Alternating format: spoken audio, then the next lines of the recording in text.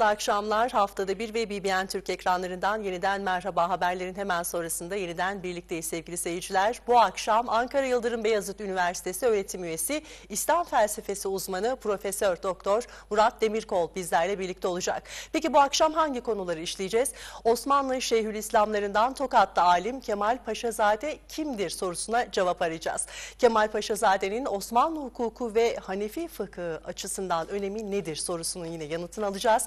Osmanlı'da bilim ve felsefe yoktu iddiası gerçeği yansıtıyor mu? Bir din aliminin aynı zamanda filozof, edip ve tarihçi olması nasıl açıklanabilir? Yavuz Sultan Selim ve Kanuni Sultan Süleyman'ın devrinde Kemal Paşazade'yi diğer Şeyhülislamlar arasında farklı kılan özellikleri nelerdi sorularına cevap arayacağız. Hocam hoş geldiniz. Hoş bulduk. Teşekkür Nasılsınız ederim. hocam? Sağ olun. Siz de iyisiniz. Bizdeyiz. Çok teşekkür ediyoruz.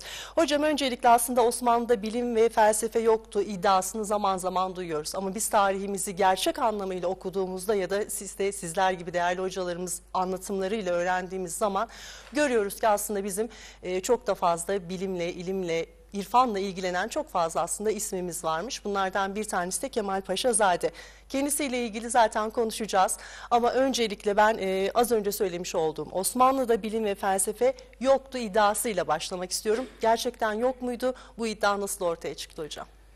Aslında ben e, Kemal Paşazade ile ilgimi artırışım, daha doğrusu Kemal Paşazade üzerine yoğunlaşmamın e, temelindeki etkenlerden, sebeplerden birisi de bu iddianın çürütülmesi. Daha doğrusu bu iddianın yanlışlığının ortaya konulması. E, çünkü 1300'lerde yani 1299'dan itibaren kurulmuş bir e, devlet ve 600 yıllık süren bir e, medeniyet e, ve aslında onun devam olarak da Türkiye Cumhuriyeti hala devam eden bir devlet olarak düşünürsek yani bir süreklilik Türk tarihi açısından bir süreklilik açısından düşünürsek bu aslında e, Türk tarihine e, Türk medeniyetine yönelik bir e, suçlamadır. Yani Osmanlı'da daha doğrusu Türklerde bilim, felsefe, düşünce yoktu. Aslında bunun devamında sanat da yoktu filan gibi devam edecektir. Aslında çok da fazla şey bizden Evet. almışlar hocam. Onu da biz e, zaten görüyoruz, duyuyoruz değil mi? Evet yani e, bu iddiayı ortaya atanların tabii ki e, gerekçeleri neydi? Daha öncesinde İslam tarihinin e, bazı dönemlerine özellikle projeksiyon e, tutup e, diğer dönemleri e, karanlıkta bırakma gibi bir durum vardı. E, aslında e, Osmanlı'nın ilk dönemlerinde itibaren işte e, Davud-u Kayseri ile ilgili başlayıp e, Molla Fenari, Molla Hüsrev gibi isimleri çokça duymuşuzdur. E, Osmanlı'da bilim, felsefe e, gittikçe artan bir ivmeyle devam etti. Özellikle Fatih dönemine geldiğimizde zaten e, e, bilime ve felsefeye özel bir vurgunun yapıldığı, hatta Fatih'in Fatih Sultan Mehmet'in sadece coğrafya içerisindeki mevcut bilim adamlarıyla yetinmeyip e, coğrafya dışından da e, alimleri, filozofları İstanbul'a davet ettiğini görüyoruz. Bunun en önemli, e, bunun en güzel örneklerden birisi Ali Kuşçu'dur. Ali Kuşçu Semerkant'ta e, Ulu Bey'in yanında, e, oranın sultanı e, Ulu Bey'in yanında e, şeyde de çalışmış, ne diyeyim rasathanede de çalışmış, matematikçi, astronom, filozof, kelamcı e, bir alim. Onu İstanbul'a getirtiyor ve aslında buradaki e, bilime, düşünceye, felsefeye verdiği önemi göstermiş oluyor. Evet. Yine Fatih döneminden e, iki ismi daha zikredeyim burada. Fatih Sultan Mehmet e, tehavüt geleneğinin önemli isimlerinden birisi olan Hocazade ve Ali Tusi e, onlara e, İslam düşüncesi üzerine araştırmalar yapmalarını teşvik etmiş. Hatta neredeyse sanki bir e, yarışma yaparcasına iki filozoftan da aynı konuları e, araştırmasını, tartışmasını istemiş. İki filozof işte hem e, Musluhettin Hocazade hem Ali Tusi e, birer e, tehafüt yazıyorlar. Aslında tehafüt geleneği Gazali ile başlıyor. E, Birçok e, izleyicimiz bunu biliyordur.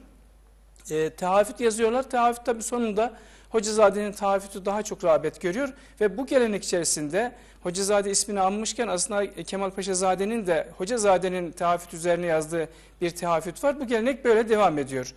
E, sadece bununla da kalmıyor. Tabii ki e, pozitif bilimlerle ilgili de birçok araştırma yapılıyor. Bu hızlı bir şekilde özellikle e, şeye geldiğimizde 2. Beyazıt, e, Yavuz Sultan Selim, özel e, bilhassa e, Kanuni Sultan Süleyman devrine geldiğimizde artık çevreden e, bütün bilim adamlarının İstanbul'a yağdığını, İstanbul'a e, akın ettiğini göreceğiz. İstanbul hem e, her açıdan sadece İslam bilimi açısından değil her açıdan bilimin, düşüncenin, sanatın merkezi oluyor. Peki hocam e, felsefe de mesela yok demişler ama biz baktığımız zaman çok da güzel örnekler görüyoruz değil mi? Kesinlikle felsefe yok demek bu şöyle bir şey. E, İbn Rüşd ile felsefenin bitirildiği var. Bu oryantalist bir iddia aslında. Yani bizim e, kendi araştırmalarımız e, yani Müslüman dünyadaki işte Türk dünyasındaki hususi araştırmalar arttıkça e, yani metinler üzerinden araştırmalar yapıldıkça bunun yanlışlığı daha da bariz görülüyor. Özellikle bu Osmanlı araştırmaları e, hızla arttı. Daha öncesinden mesela edebiyat, tarih, siyaset bilimi üzerine araştırmalar yapılıyordu ama felsefe üzerine hususi çok daha azdı. Ama son yıllarda hem ilahiyat fakültelerinde hem e, işte felsefe bölümlerinde felsefe Osmanlı'daki düşünce felsefe üzerinde de araştırmalar arttı ve burada da biz kendi değerlerimizi fark etmeye başladık. E, o artık e, İbn Rüşd'le felsefenin sona erdiği yalanı çürütüldü.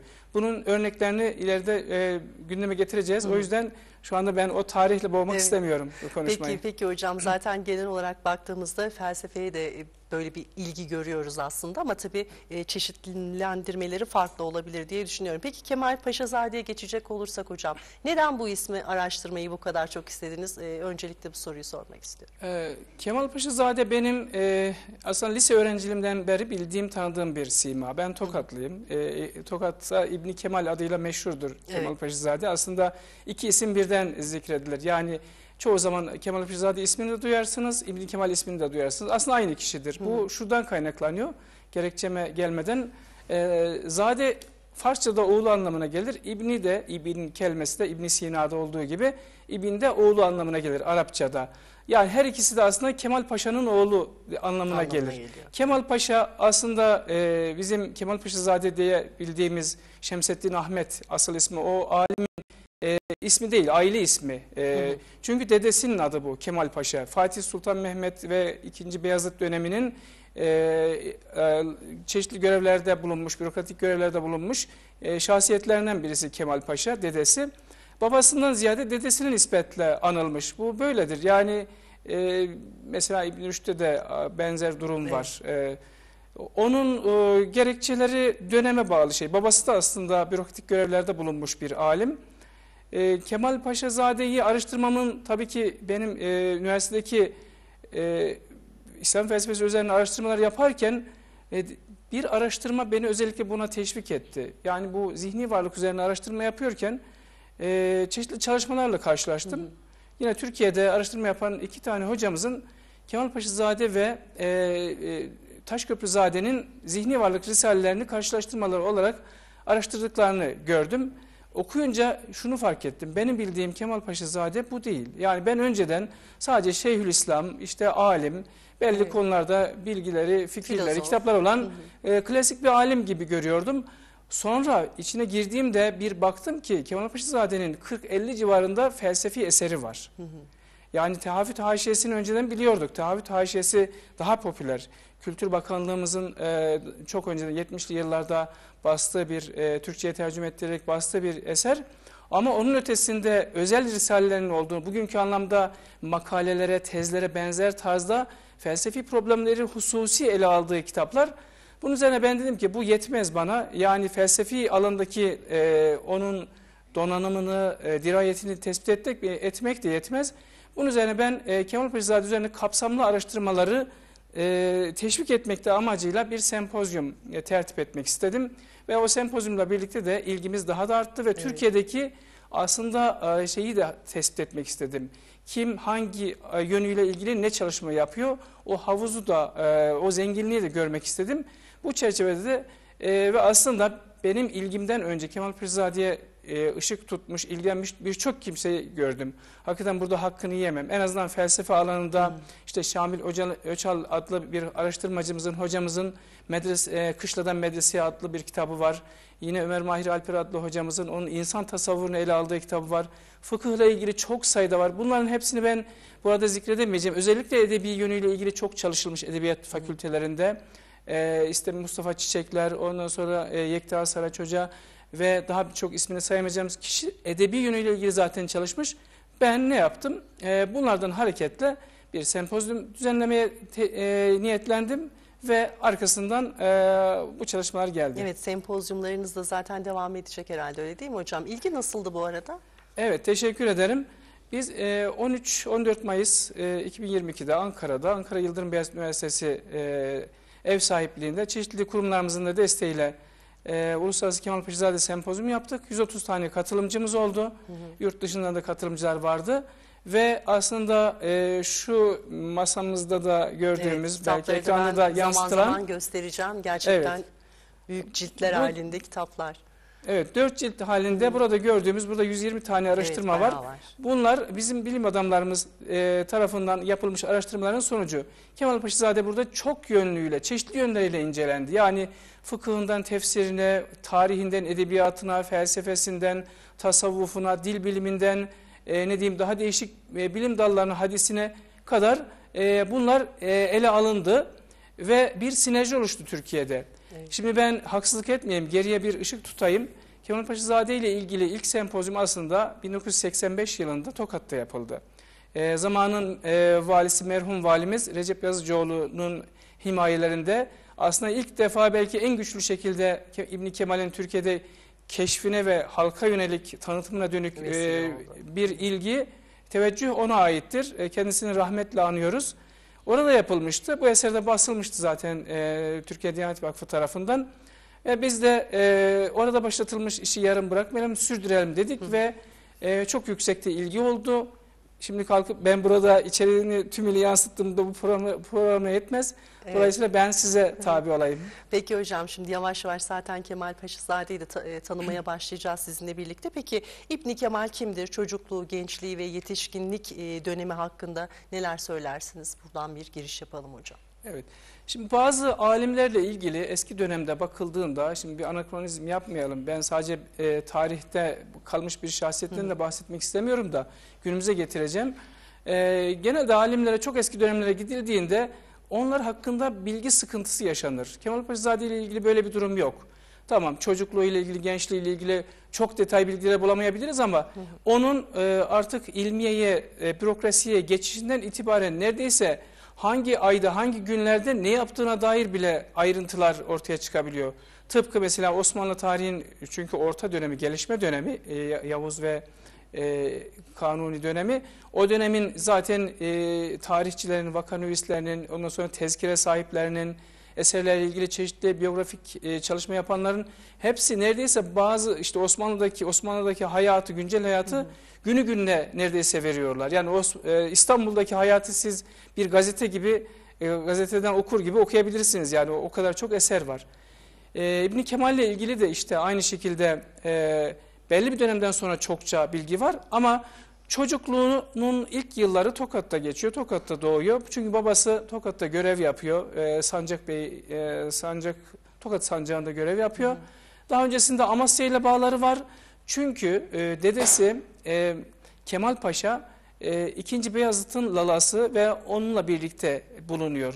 İkinci Beyazıt uzun bir süre e, şeyde Amasya'da şehzade, e, şehzade olarak bulunmuştu zaten. Herkesin malumu bu. Evet. Dolayısıyla e, Kemal Paşa, onun oğlu Süleyman Çelebi yani İbn Kemal'in babası Süleyman Çelebi bu şehirde Amasya'da belli bir süre yaşıyorlar. Ve e, babası Kemal, e, Şems, e, babası Süleyman Çelebi'nin de görevi gereği Tokat'ta da bulunuyorlar. Üstelik e, Kemal Paşazade Tok, e, Kemal Paşazade'nin annesinin Tokatlı olduğu kesin. Yani hadi babası e, çeşitli görevlerde bir takım şehirlerden geldi buraya yerleşti desek bile Evet. e, Tokatlı meşhur bir alim e, e, Küpelioğlu e, Muhittin Mehmet isimli bir zat var meşhur. E, Fatih dönemi e, e, kadılarından, kazaskerlerinden olduğu söyleniyor. Kendisiyle ilgili çok araştırma yapmadım ama ve şehirde saygın bir alim. E, onun kızıyla evli e, Süleyman Çelebi. Yani Süle, e, Kemal Paşazade'nin annesi Tokatlı bir seçkin ailenin kızı. Bu şehirde belli bir süre görev yapıyor. Ondan sonra İstanbul'a gidiyor. Bu arada işte ister istemez Amasya ile Tokat arasında gitgeller de var. E, eğitiminin bir kısmını Amasya'da alıyor. Daha sonra malum e, 2. Beyazıt'ın e, Fatih'ten sonra padişah olması üzerine İstanbul dönemi başlıyor. İstanbul dönemiyle birlikte İstanbul'a gidiliyor. Edirne'de bir süre e, kalıyor aile. E, bundan sonraki hayatıyla ilgili ayrıca e, şeyler söyleyebilirim. Yani Peki. çocukluğunun ilk yıllarının Tokat ve Amasya'da Amasya'da geçtiğini burada zikretmekle yetineyim. Peki o dönemin sosyopolitik e, panoramasına bakacak olursak bununla ilgili neler söylersiniz hocam?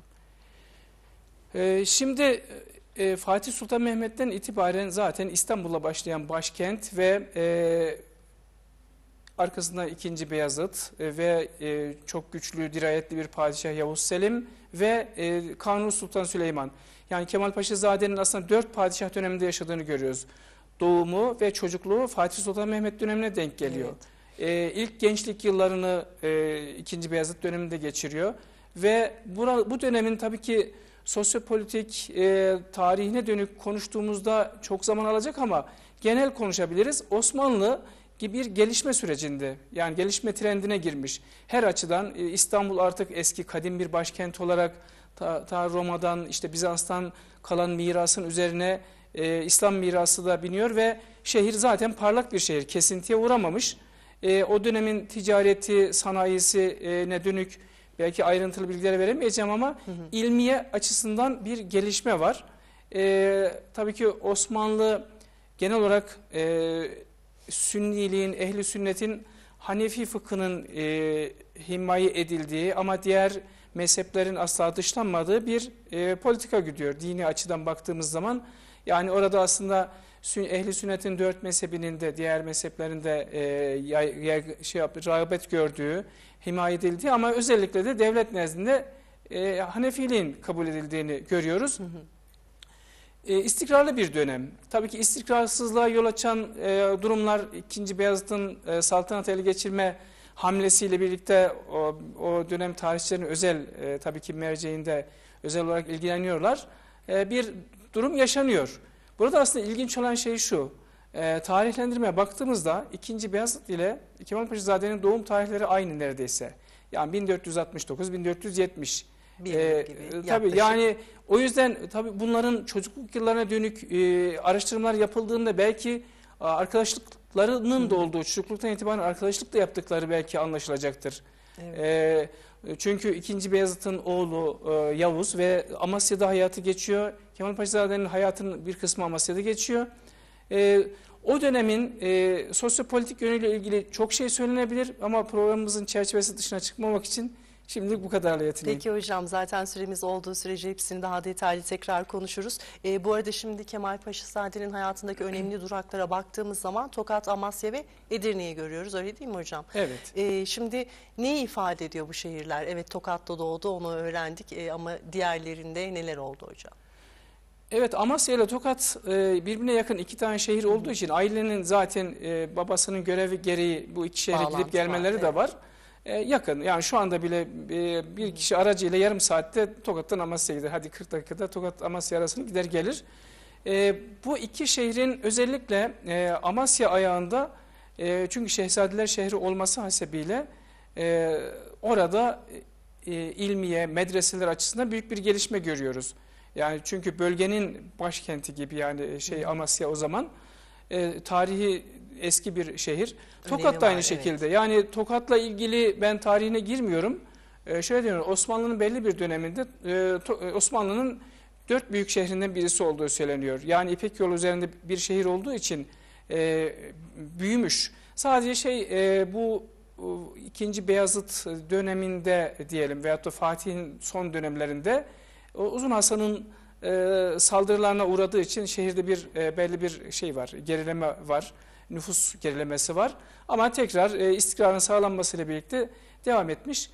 E, çocukluğu, doğum ve çocukluğu açısından Tokat bir şey ifade ediyor ve Tokatlılar da gerçekten Kemal Paşazade'yi sahiplenmiştir. Aslında sadece Tokatlılara ait bir değer değildir e, Kemal Paşazade. Amasyalılarındır, Edirnelilerindir, İstanbullularındır, Türkiye'nindir, e, Evet. Türk dünyasınındır, İslam dünyasınındır ve tüm insanlığındır.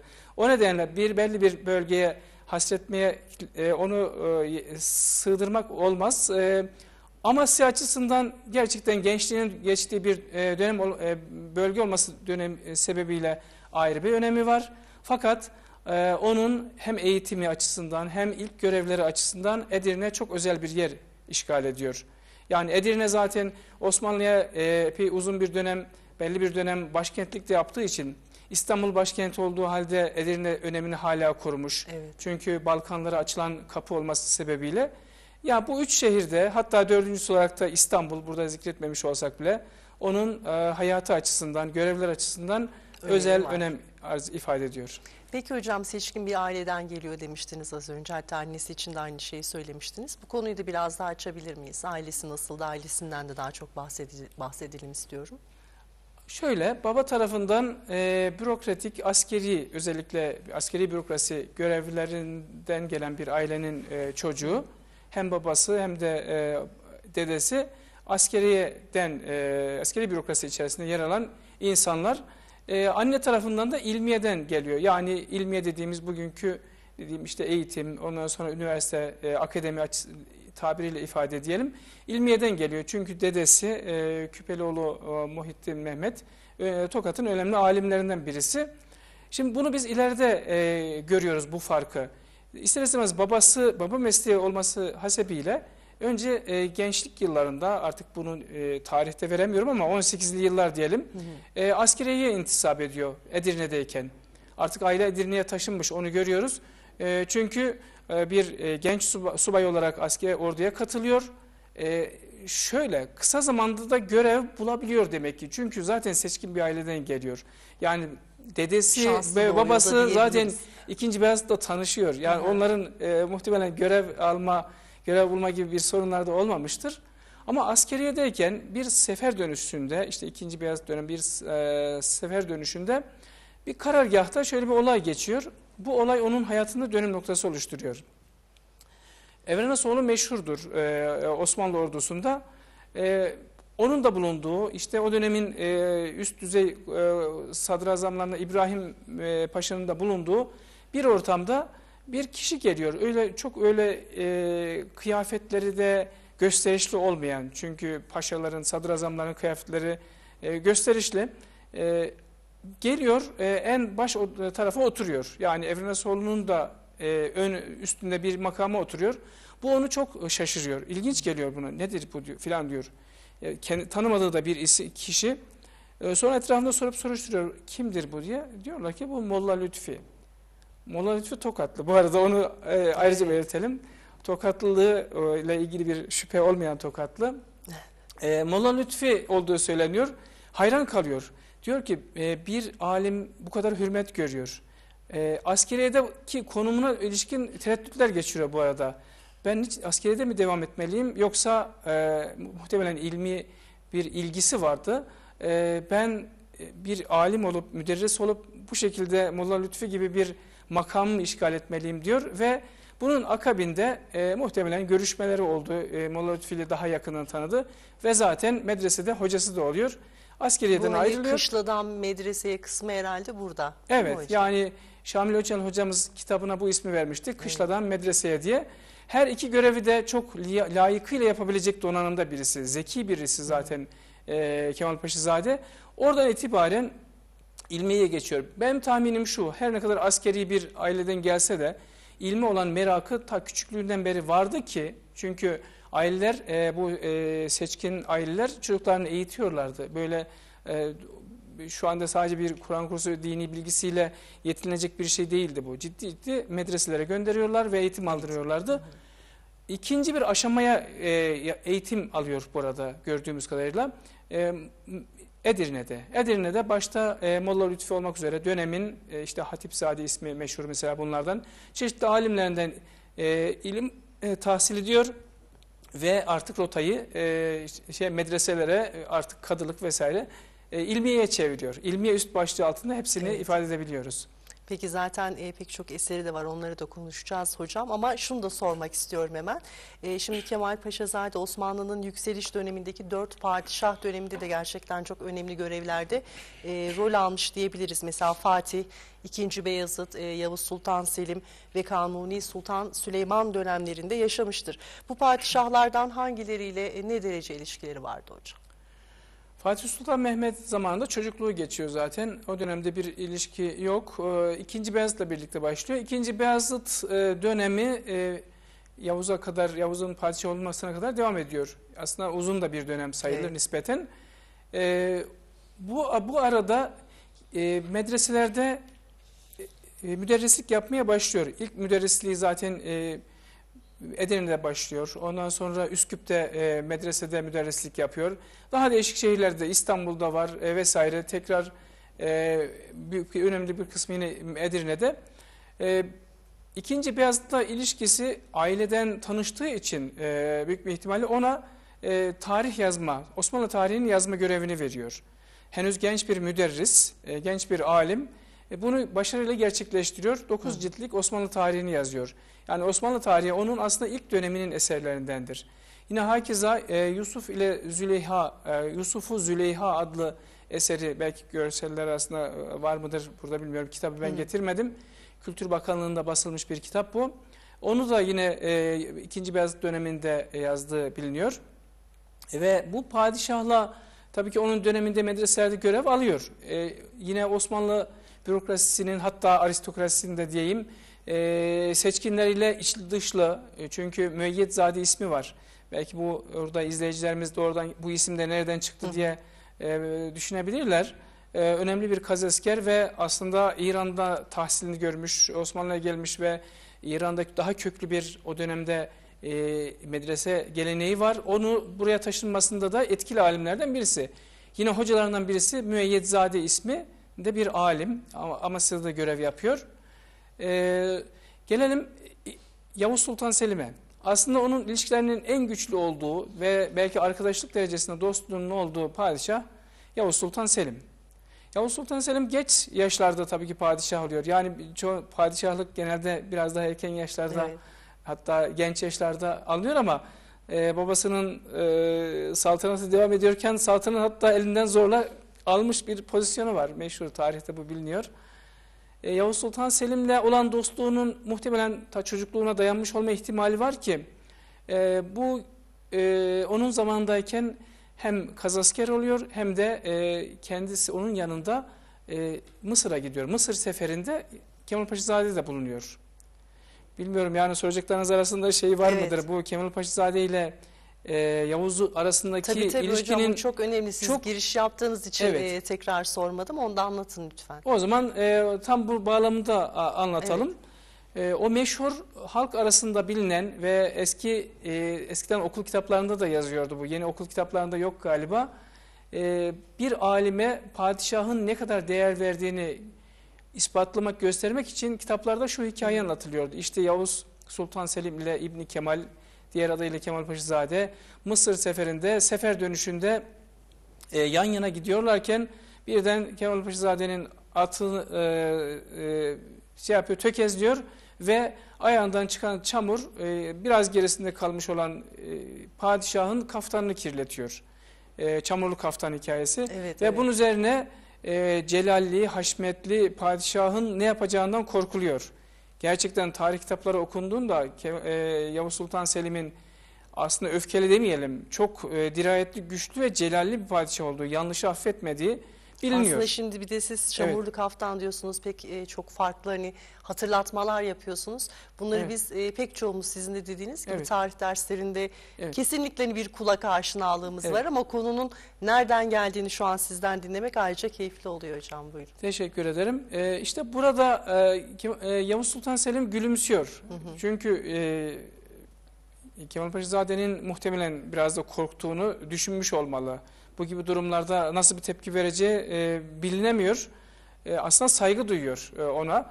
E, diyor ki bir alemin e, atının ayağından sıçramış çamur e, çamur benim için şereftir. Bu kaftanı asla kaybetmiyorsunuz. E, ve benim sandukamın üzerine vefat ettiğimde sandukamın üzerine konulsun diyor.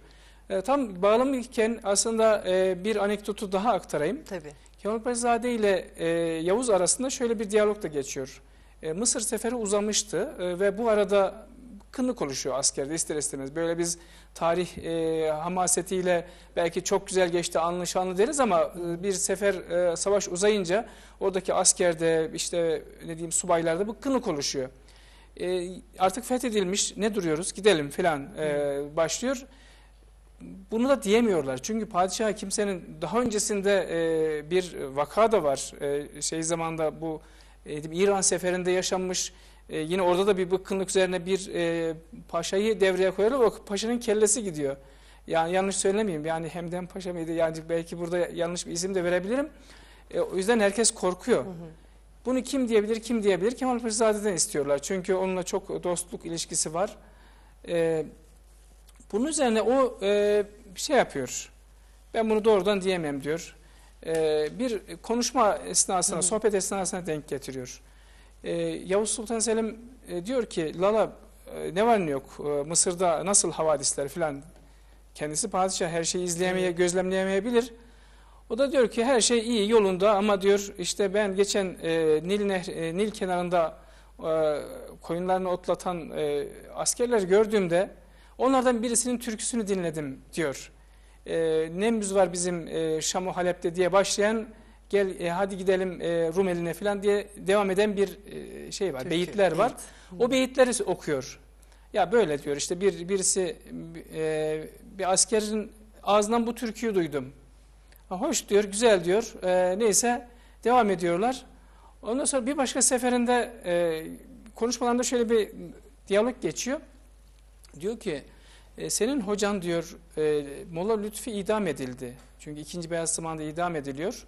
E, onu çekemeyen, e, hasetle, haset eden diğer e, alimler diyelim veyahut da işte kadılar onu e, bir e, yaptığı bir hareketi veyahut da işte bazı konuşmalarını abartarak şeriata aykırı bir iş yaptı diye idam ettiriyorlar. Ben o detaya fazla girmeyeceğim. Hı. Parantezi hemen kapatayım. Molla Lütfü dolayısıyla e, idam edilmiş bir alimdir yani müderristir. E, neden diyor biliyor musun e, bunun idam sebebi diyor.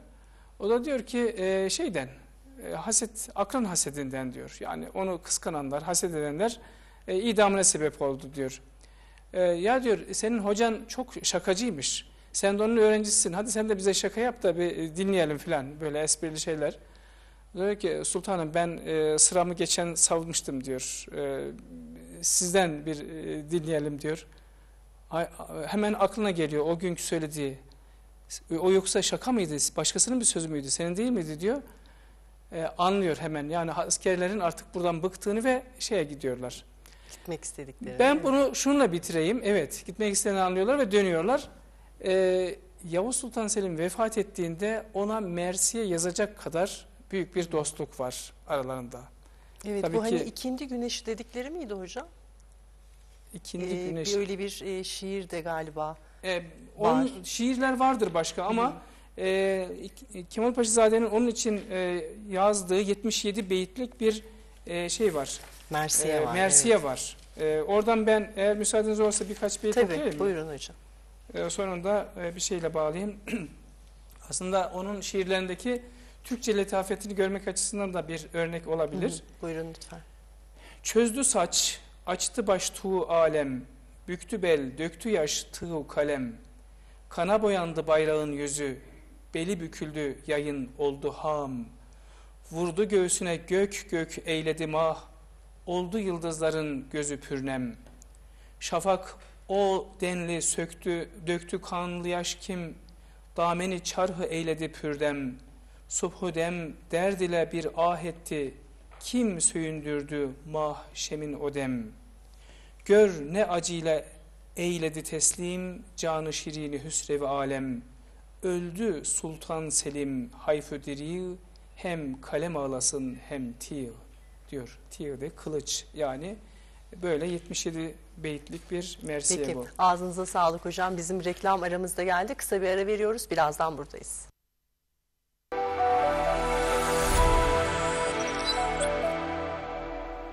Haftada bir devam ediyor. Yıldırım Beyazıt Üniversitesi öğretim üyesi İslam felsefesi uzmanı Profesör Doktor Murat Demirkol hocamızla olan birlikteliğimize kaldığımız yerden devam ediyoruz.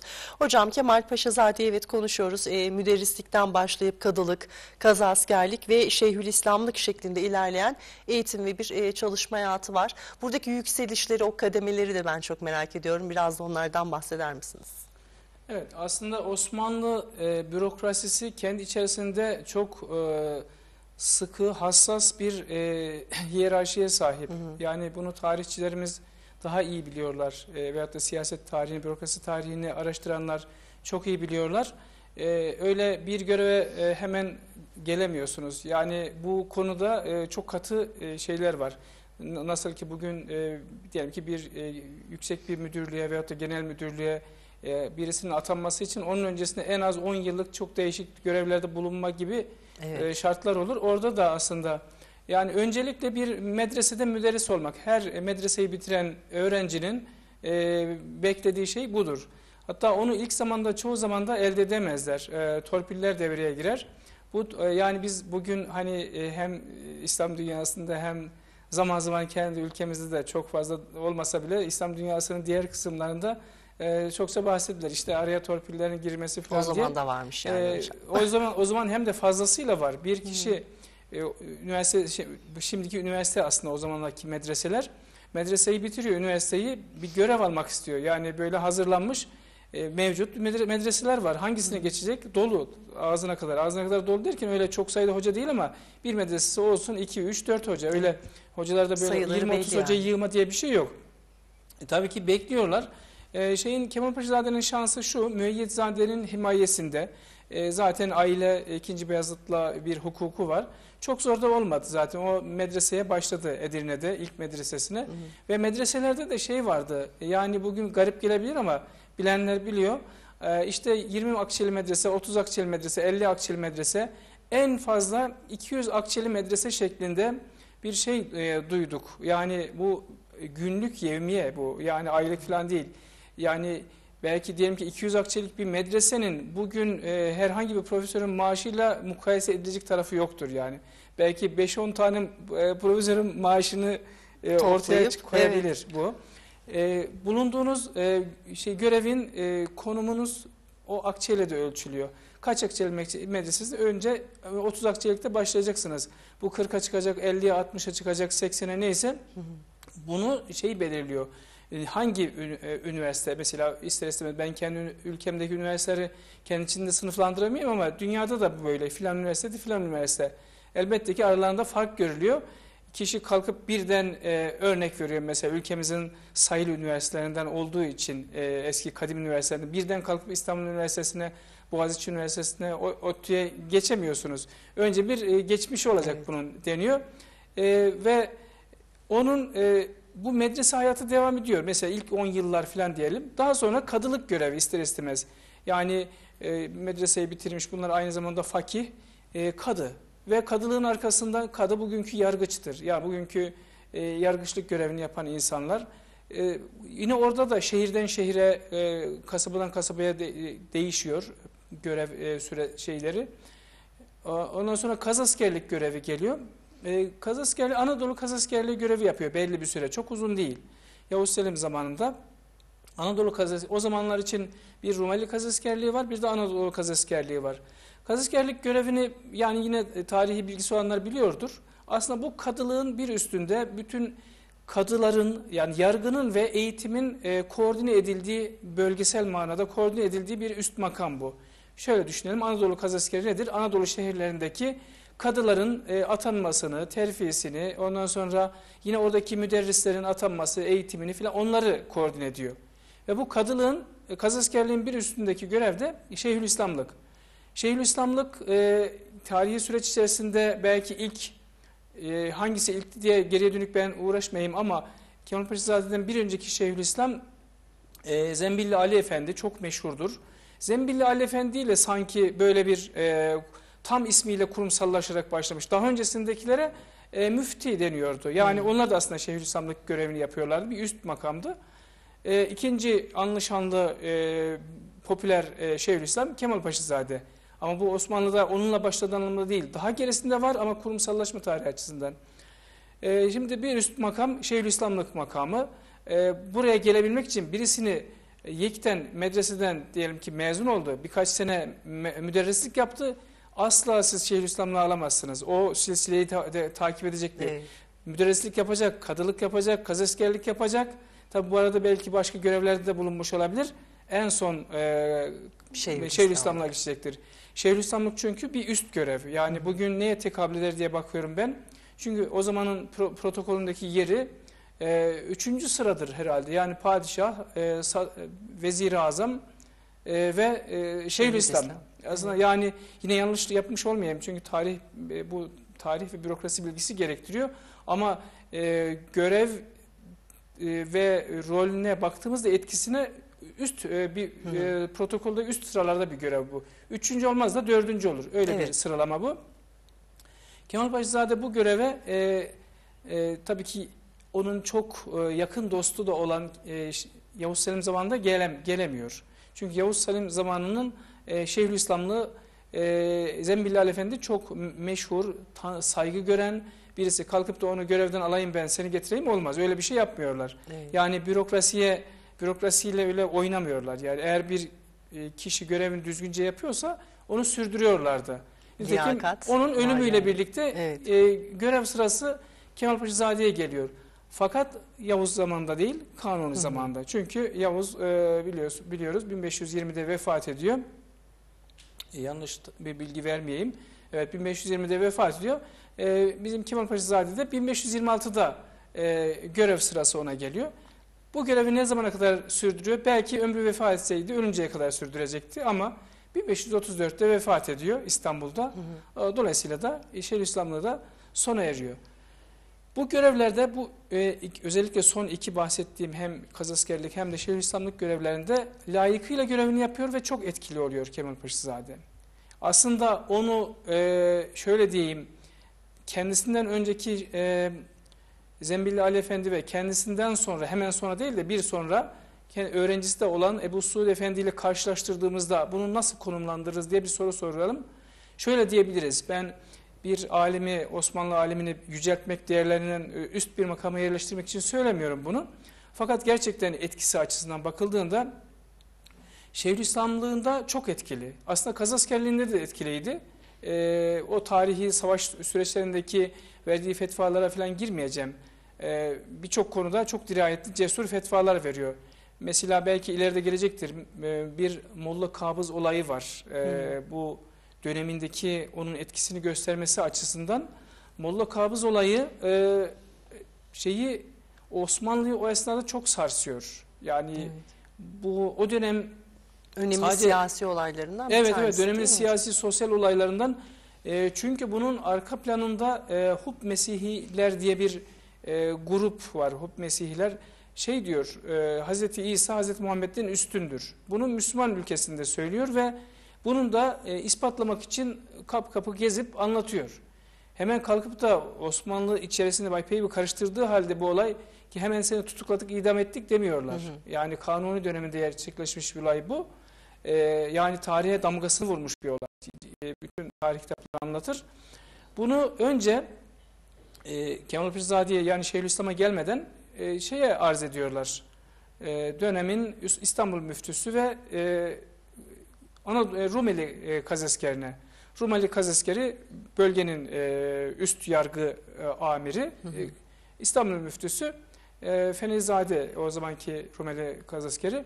Onlar önce bu meseleyi halletsinler deniyor. Onlara arz ediliyor. Fakat halledemiyorlar. Yani bu e, şahsı Molla Kabız'ı susturamıyorlar. ikna edemiyorlar. Daha doğrusu görüşünü e, çürütemiyorlar. Bunun üzerine padişah e, epey bir öfkeleniyor kanuni. E, diyor ki Şeyhülislam'a e, sen bu işe el at. Çünkü bu işin çözüleceği yok. Ve Kemal Paşazade e, bu işe el atıyor e, ve e, aslında ikna ediyor. Yani onun görüşünü çürütüyor. Burada detaylara girmiyorum. Hı hı. Fakat bu zat yine görüşünden vazgeçmiyor. Diyorlar ki görüşünden vazgeç, hayat hakkın baki devam et. Vazgeçmiyor. Bunun üzerine orada oradaki bürokrasinin, hukuk bürokrasinin işleyişiyle onun idamına e, karar veriliyor ve idam ediliyor. Çünkü olay basit bir inanç olayı değil. O, Osmanlı içerisindeki e, sosyal hayatı olabildiğince karıştırmış. Bir de bunun background'unda daha başka şeyler de var. Sadece o değil. Mesela doğudan gelen bir inanç sorunları da var. Ben o ayrıntılara girmeyeceğim. Hı hı. Bütün bunların e, içerisinde boğuşurken Osmanlı bu sorunu fazla e, gündemde tutmak istemiyor. Kemal Paşazade'nin burada çok rolü var. Daha başka olaylarda da var. Yeri geldiğinde Evet. belki Tekrar Ee, anlatırsınız söylerim. hocam. Peki bu kadar e, yoğun bir bürokrasi içinde olduğunu görüyoruz kendisinin. E, çok yoğun şekilde çalıştığını görüyoruz ama bu kadar yoğunluğun içinde aslında pek çok da ilmi eser yazmış olduğunu da görüyoruz ki e, yazmak da Kemal Paşazade'nin çok sevdiği eylemlerden e, bir tanesi ki bıraktığı bir sürü eser var. E, şimdi o eserleri açıklar mısınız? Onun bu e, yazıya olan sevgisini açıklar mısınız? Anlatır mısınız bize? aslında e, çok eser verme tecrübesi açısından e, tarihimizde birçok alim var. E, ama e, Kemal- Kemal Paşazade Osmanlı ölçeğinde düşünüldüğünde gerçekten çok eser vermiş. 300 tane eseri var ve bu eserlerin büyük bir kısmı 200 civarı e, ya matbudur ya da yazma eserler halinde tespit edilmiştir. Bir de a, isimleri olduğu halde tespit edilemeyenler var. Bu tespit edilemeyenler için e, yazma eserleri e, kurcalayacak, araştırma yapacak e, araştırmacılara ihtiyaç var. Çünkü isimleri geçiyor. Nerede geçiyor bunlar? Biyografi kitapları var. E, on, e, bir, affedersiniz, bibliografi kitapları var. Onları geçiyor. Mesela başta Keşf-i diyelim ki en meşhurlardan birisi. Bunlarda ismi geçiyor. İşte İbn Kemal ya da Kemal Paşazade'ye ait deniyor. Ama e, kitap ortalıkta görünmüyor. Bir de bütün e, yani Osmanlı'daki çok değişik şehirlerde yazma eser kütüphaneleri var. Hala mevcut. Onların ba- bakılması gerekiyor. E, zamanın e, seyyahlarından Evliya Çelebi'nin onunla ilgili bir anekdotu var. Şöyle diyor. Yani onunla ilgili övgülü sözleri de var da ben onların hepsini hem aklıma gelmiyor hem de bağlamında söyleyemiyorum. E, o kadar çok yazardı ki diyor ömrünün e, her gününe 20 sayfa düşerdi diyor neredeyse diyor. Yani eserlerin demek toplamındaki sayfa sayısını göz önünde bulundurarak ömründe diyor her bir güne 20 sayfa düşecek şekilde e, kitap yazmıştı diyor. Ben e, bunun e, doğruluk değeri taşıdığını düşünüyorum çünkü sadece şu anda 9 ciltlik tarih kitabı var. Yazma e, şeyden Evet. çıktı. E, Türk Tarih Kurumu'ndan yayınlandı 2000'li yıllarda. Ondan sonra yine Tarih, e, Kültür Bakanlığı'ndan yayınlanmış demin adlarını zikrettiğim kitapları var. İşte Tahafüt Haşiyesi. Yani yanımda yok bilmiyorum sizin ekranda göstereceğiniz bir materyal de yok herhalde. Ondan sonra Tahafüt Haşiyesi var. E, bu bir felsefe kitabı. Sonra e, Türk Dil Kurumu'ndan çıkmış divanı var. E, yine Kültür Bakanlığı'nın 70'lerde yayınladığı Yusuf-u Züleyha'sı var. Özellikle bu Yusuf-u Züleyha ve diğer edebi eserler Çok üzerinde belki e, aslında, evet. ileride mi bağlamında sorduğunuzda cevap veririm. E, sonra yakın bir zamanda 2018'de İstanbul'da bir yayın evi onun e, Arapça eserlerini bir mecmua halinde topladı. Yani bir derleme kitap, 8 ciltlik kitap halinde topladı. Orada mesela yüzlerce, yüz küsür e, şey var. Yüzlerce diyeyim evet tam sayısı aklıma gelmedi.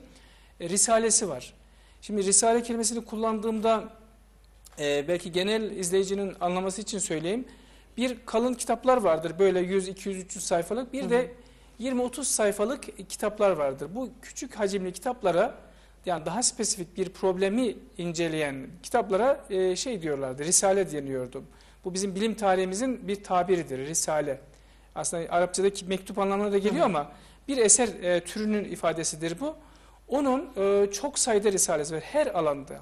Ne diyeyim size dil bilim alanında kelam, tefsir, fıkıh, ondan sonra felsefe, e, edebiyat, e, daha sonra ahlak her alanda birçok e, risalesi de var. Bağımsız kitapları var. Mesela şöyle diyeyim size fıkıh kitapları ile ilgili e, külliyat henüz tam gün yüzüne çıkarılmış da değil. Onun mesela Mısır'da baş- ba- basılmış iki ciltlik e, bir fıkıh kitabı var. Belki fıkıh konusunu hususi incelerken Evet, ona evet hocam, e, değinebilirim. ondan. Ee, sonra Hidaye diye bir Hidaye Şerhi diye bir kitabı var. O hiç yazma eser halinde duruyor. Belki gün yüzüne çıkarıldığında böyle bir 9-10 ciltlik bir kitap ortaya çıkacak. Yani nereden bakarsanız bakın 9 ciltlik tefsiri var. Bak onu, onu söylemedim. Yine bu basıldı. Tefsir kitabı var. Hadislerle Sizin de- ilgili kitapları var. Evet. Sizin de demiş olduğunuz gibi zaten aldığım notlarda da bakıyorum. Ee, gece gündüz aklına geleni yazardı. Öyle ki gece ile gündüz biter fakat onun kalemi bitmezdi denmiş hocam Evet. nottada.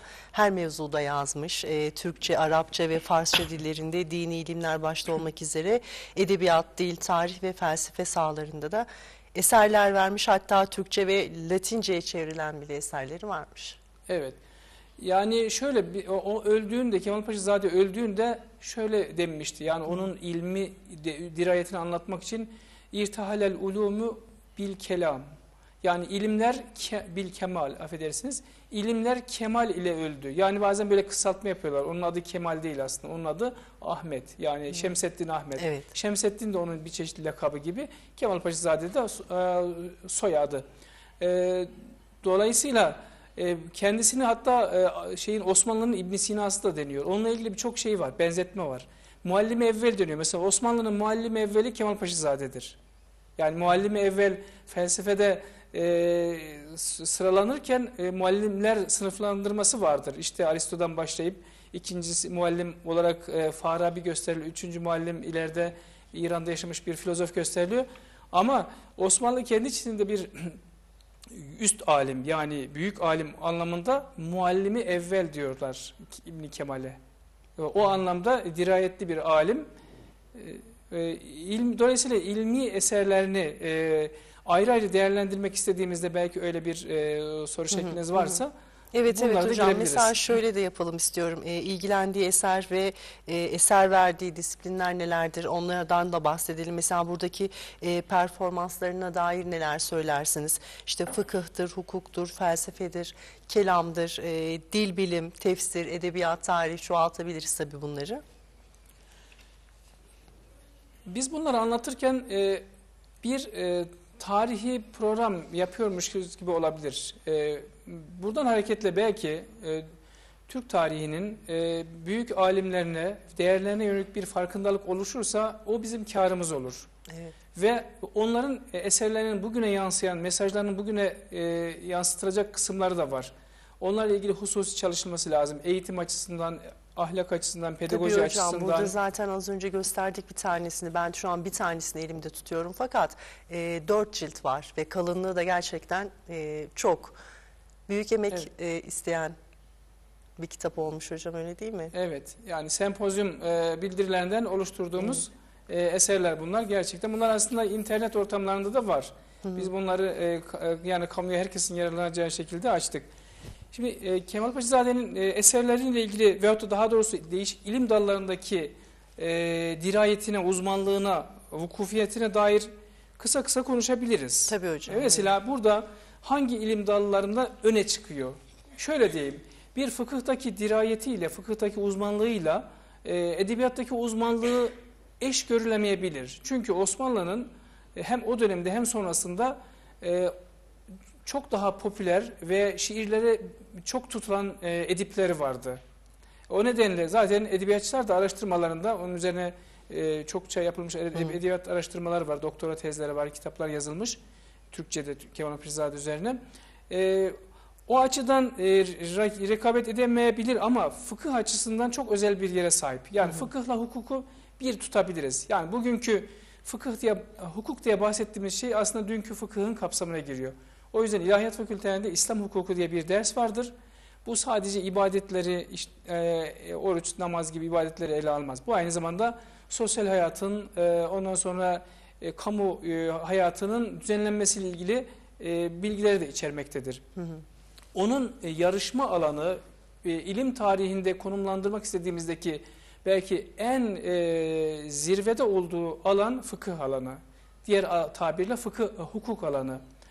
E, neden böyle diyoruz? Şöyle, bu eser, bu alanda yazdığı eserler çok zaten. Ona e, bir iki tanesinin ismini biraz önce verdim. Hı hı. Fakat ayrıca fetvaları var. Mesela fet, Fetvai Kemal Paşazade diye fetvaları da bugüne kadar gelmiş. O fetvalar döneminde bir, her bir olay üzerine veyahut da işte e, saraydan, padişahlıktan gelen e, özel e, talepler üzerine verdiği yani özel problemler üzerine verdiği fetvalar var. Çok sa- sayıda. Şimdi onları bir tarafa koyuyoruz. Fakat fıkıhtaki onun asıl güçlü tarafı şu. Bunu diğer bilimlere de yansıttığını görüyorum ben. Kendisine kadar gelen e, alimlere, fakihlere karşı eleştiri yönetebilmesi. Osmanlı'da bu ilk.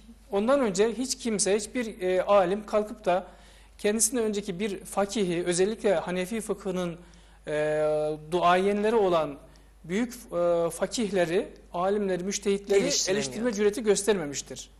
Ya be ya saygısızlık olmasın diyedir yahut da onu e, onun onların görüşlerini, e, ne diyeyim hükümlerini kutsamışlardır veyahut da zaten çok değerli bulmuşlardır. Ama Kemal Paşazade öyle yapmıyor. Diyor ki bir örnek bunun için yeterlidir. E, Vikaya diye bir eser var. Ya bu isim belki izleyicilerimizin e, aklında kalmayacaktır. Hanefi fıkhında e, Burhanu Şeria, işte o bugünkü Özbekistan sınırları içerisinde yer alan Semerkant bölgesi, o bölgenin alimlerinden. Çünkü Hanefi fıkhı o bölgede e, güçleniyor, yayılıyor. Oradan Osmanlı'ya geliyor, intikal ediyor ve Osmanlı'da devam ediyor. Burhanu Şeria'nın e, Vikaye adlı meşhur bir fıkıh kitabı vardır. Buna dört e, sütundan birisi diyorlar. Yani dört temel eserden birisidir. Yani medreselerde fıkıh öğretirken, hukuk öğretirken onu eleştiri yazıyor. Diyor ki şöyle şöyle şöyle şu, şu noktalarda şunlar vardır. Ben detaylara girmeyeyim Hı hı. ki alanımda fıkıh olmadığı için yanlış yapma ihtimalim de olur. Aynı şekilde onun üzerine bir şerh yapmış olan e, bahsettiğimiz Burhan Şeria'nın bir torunu var. Onun eserine de yine eleştirel bir kitap yazıyor. Ve bu aslında Osmanlı, onun yaşadığı dönemde Osmanlı'da epey bir sansasyon oluyor. Sen kim oluyorsun da işte bizim alimlerimize böyle eleştiri yöneltiyorsun, haddini bil filan. Yani düşünün bir kaşık suda boğma diyelim ama Evet. Kemal Paşazade bunlara pamu- papuç bırakacak birisi değil. Yani bu eleştiriler ciddi ciddi yapılıyor. Bir de o dönem yani hem bürokratik açıdan bunlar müderrisler, kadılar filan birbirlerini hep gözetliyor zaten. Birinin ayağı suçsun de hemen e, vuralım. Yani şey değil öyle biz karşımızda melekler görmüyoruz yani öyle de düşünmeyelim.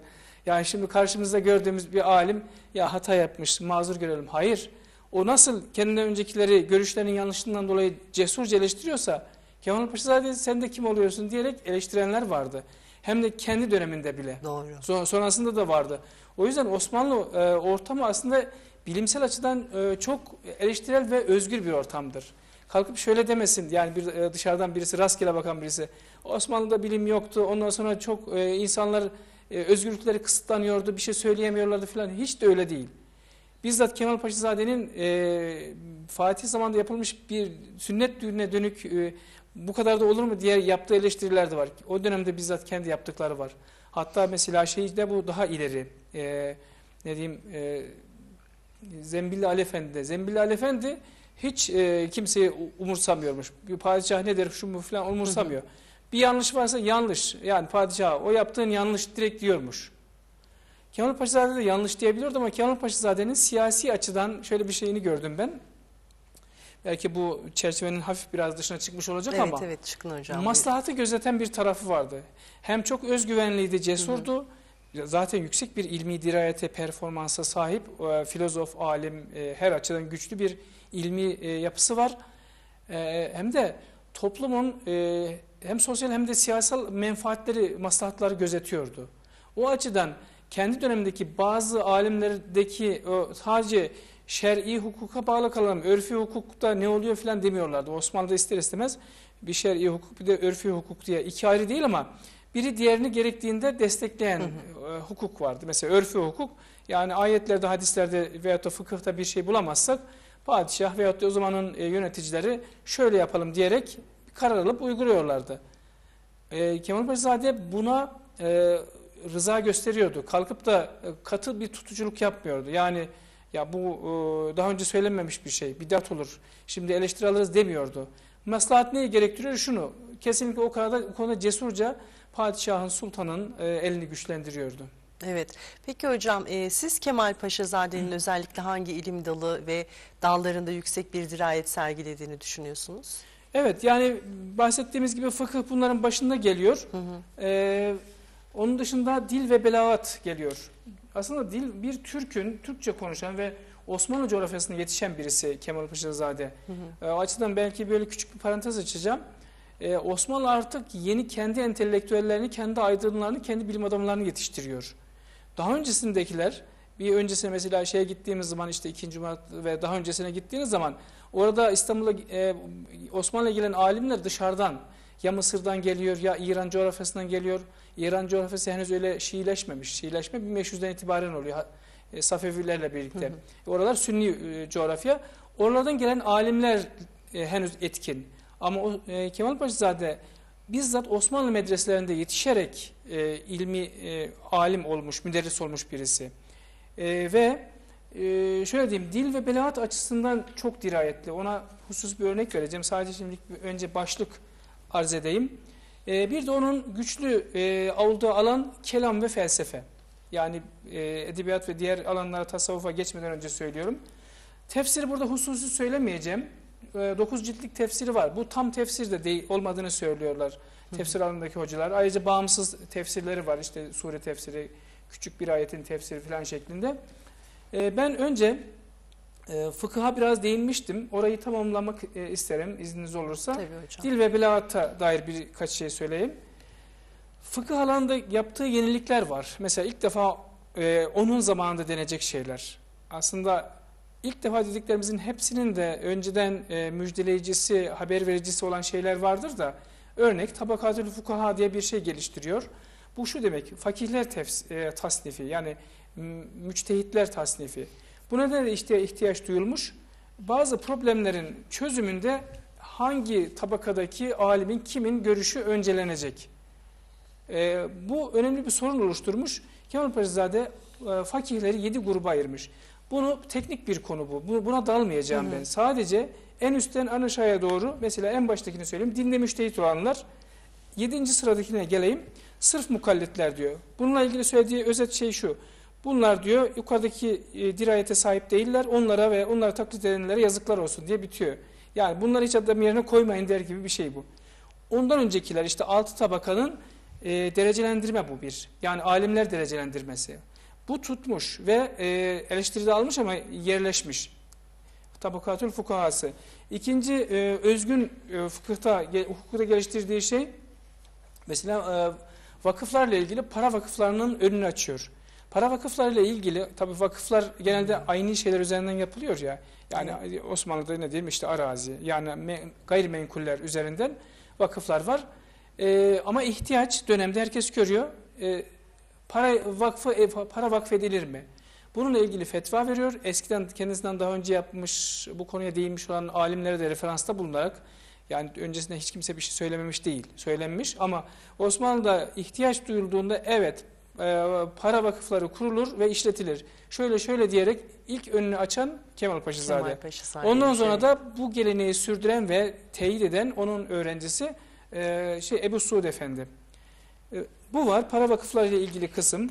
E, yine o vakıflar konusunda kız çocuklarının da e, işte bu aile vakıflarında e, yararlanabileceği ile ilgili şey var. E, bu özellikle hani kadın hakları e, var mıydı ki işte kadının o zaman adı da yoktu falan. Bazen böyle ezbere konuşulduğu ol- oluyor ya.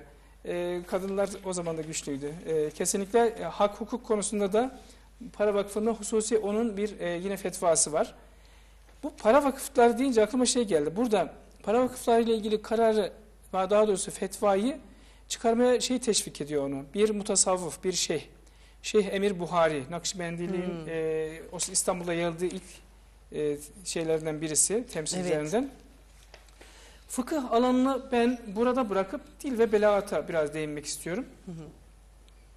Dil ve belagat yine yine teknik bir konu ama Arap diline dair bu kadar e, bir maharet, bu kadar e, dirayet kazanılır mı? Yani bir Türkçe konuşan birisinin. Çünkü Osmanlı'nın yetiştirdiği e, evlatlardan birisi bu. Dışarıda tahsil almış değil. Hı hı. Bazen işte İran'da, Şiraz'da ya da işte Mısır'da, Kahire'de tahsil görüp gelenler vardı. Öyle değil. Dil ve belagatla ilgili eserleri var, e, risaleleri var ve o konuda çok özgüveni yüksek. Hatta Arap dünyasında Kemal Paşazade'nin dil be- belagatı üzerine çok araştırmalar var.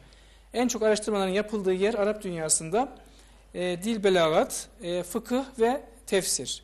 Yani bizdeki edebiyat ya da işte e, tef, e, ne diyeyim tarihçiliği yahut işte felsefesi üzerine değil. Daha Hı hı. çok bu alanlarda.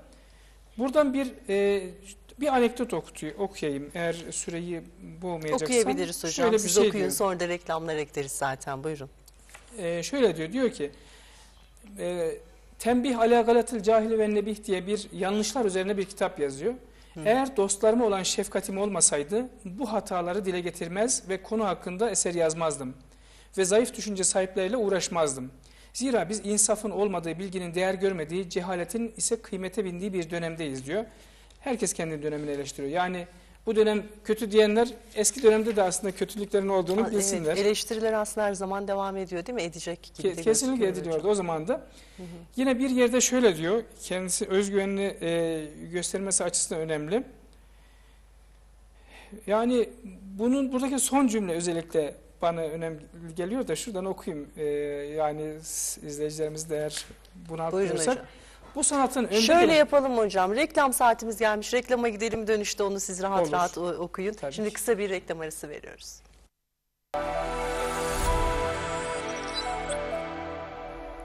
Evet haftada bir devam ediyor İslam felsefesi uzmanı Profesör Doktor Murat Demirkol hocamızla olan birlikteliğimiz devam ediyor. Bugün Kemal Paşazade'yi konuşuyoruz. Dolayısıyla Osmanlı'ya da bir dönüş yapıyoruz. Şimdi hocam dil bilimle ilgili bir anekdot okuyacaktınız reklam öncesi. Buyurun lütfen. Evet, onun kendi bu alandaki e, konu yüksek konumunu ve e, özgüvenini göstermesi açısından bir e, aktarımda bulunayım. Hı hı. Kendi ifadelerinden tercüme edilmiş. E, bu sanatın önde gelenlerinin kitaplarında diyor bu detaylar yok. Kendisi anlatıyor anlatıyor diyor ki buna inanmıyorsanız kend, inanmıyorsan kendin o kitaplara müracaat edebilirsin. Benim burada yaptığım detaylandırma bu sanatın kemalini bulması ve maharetin tamamlanması içindir diyor. Ben bunu yaparken diyor Ebu Temmam'ın şu sözünü doğrulamış oluyorum. Asıl bu aktarım çok önemli. Diyor ki önce gelenler sonra gelenlere keşfedilecek ne çok şey bırakmışlar diyor. Ne güzel yani kendisinin e, yani yapacağımız daha çok şey var. Evet. E, ve e, aşağıda bunu e, yine güçlendirecek bir başka anekdotta şöyle diyor. E, bu sanatın meydanındaki süvarilerden hiçbirisi benden önce bunu dile getirmedi. Bunu söylemekten de çekinmiyor.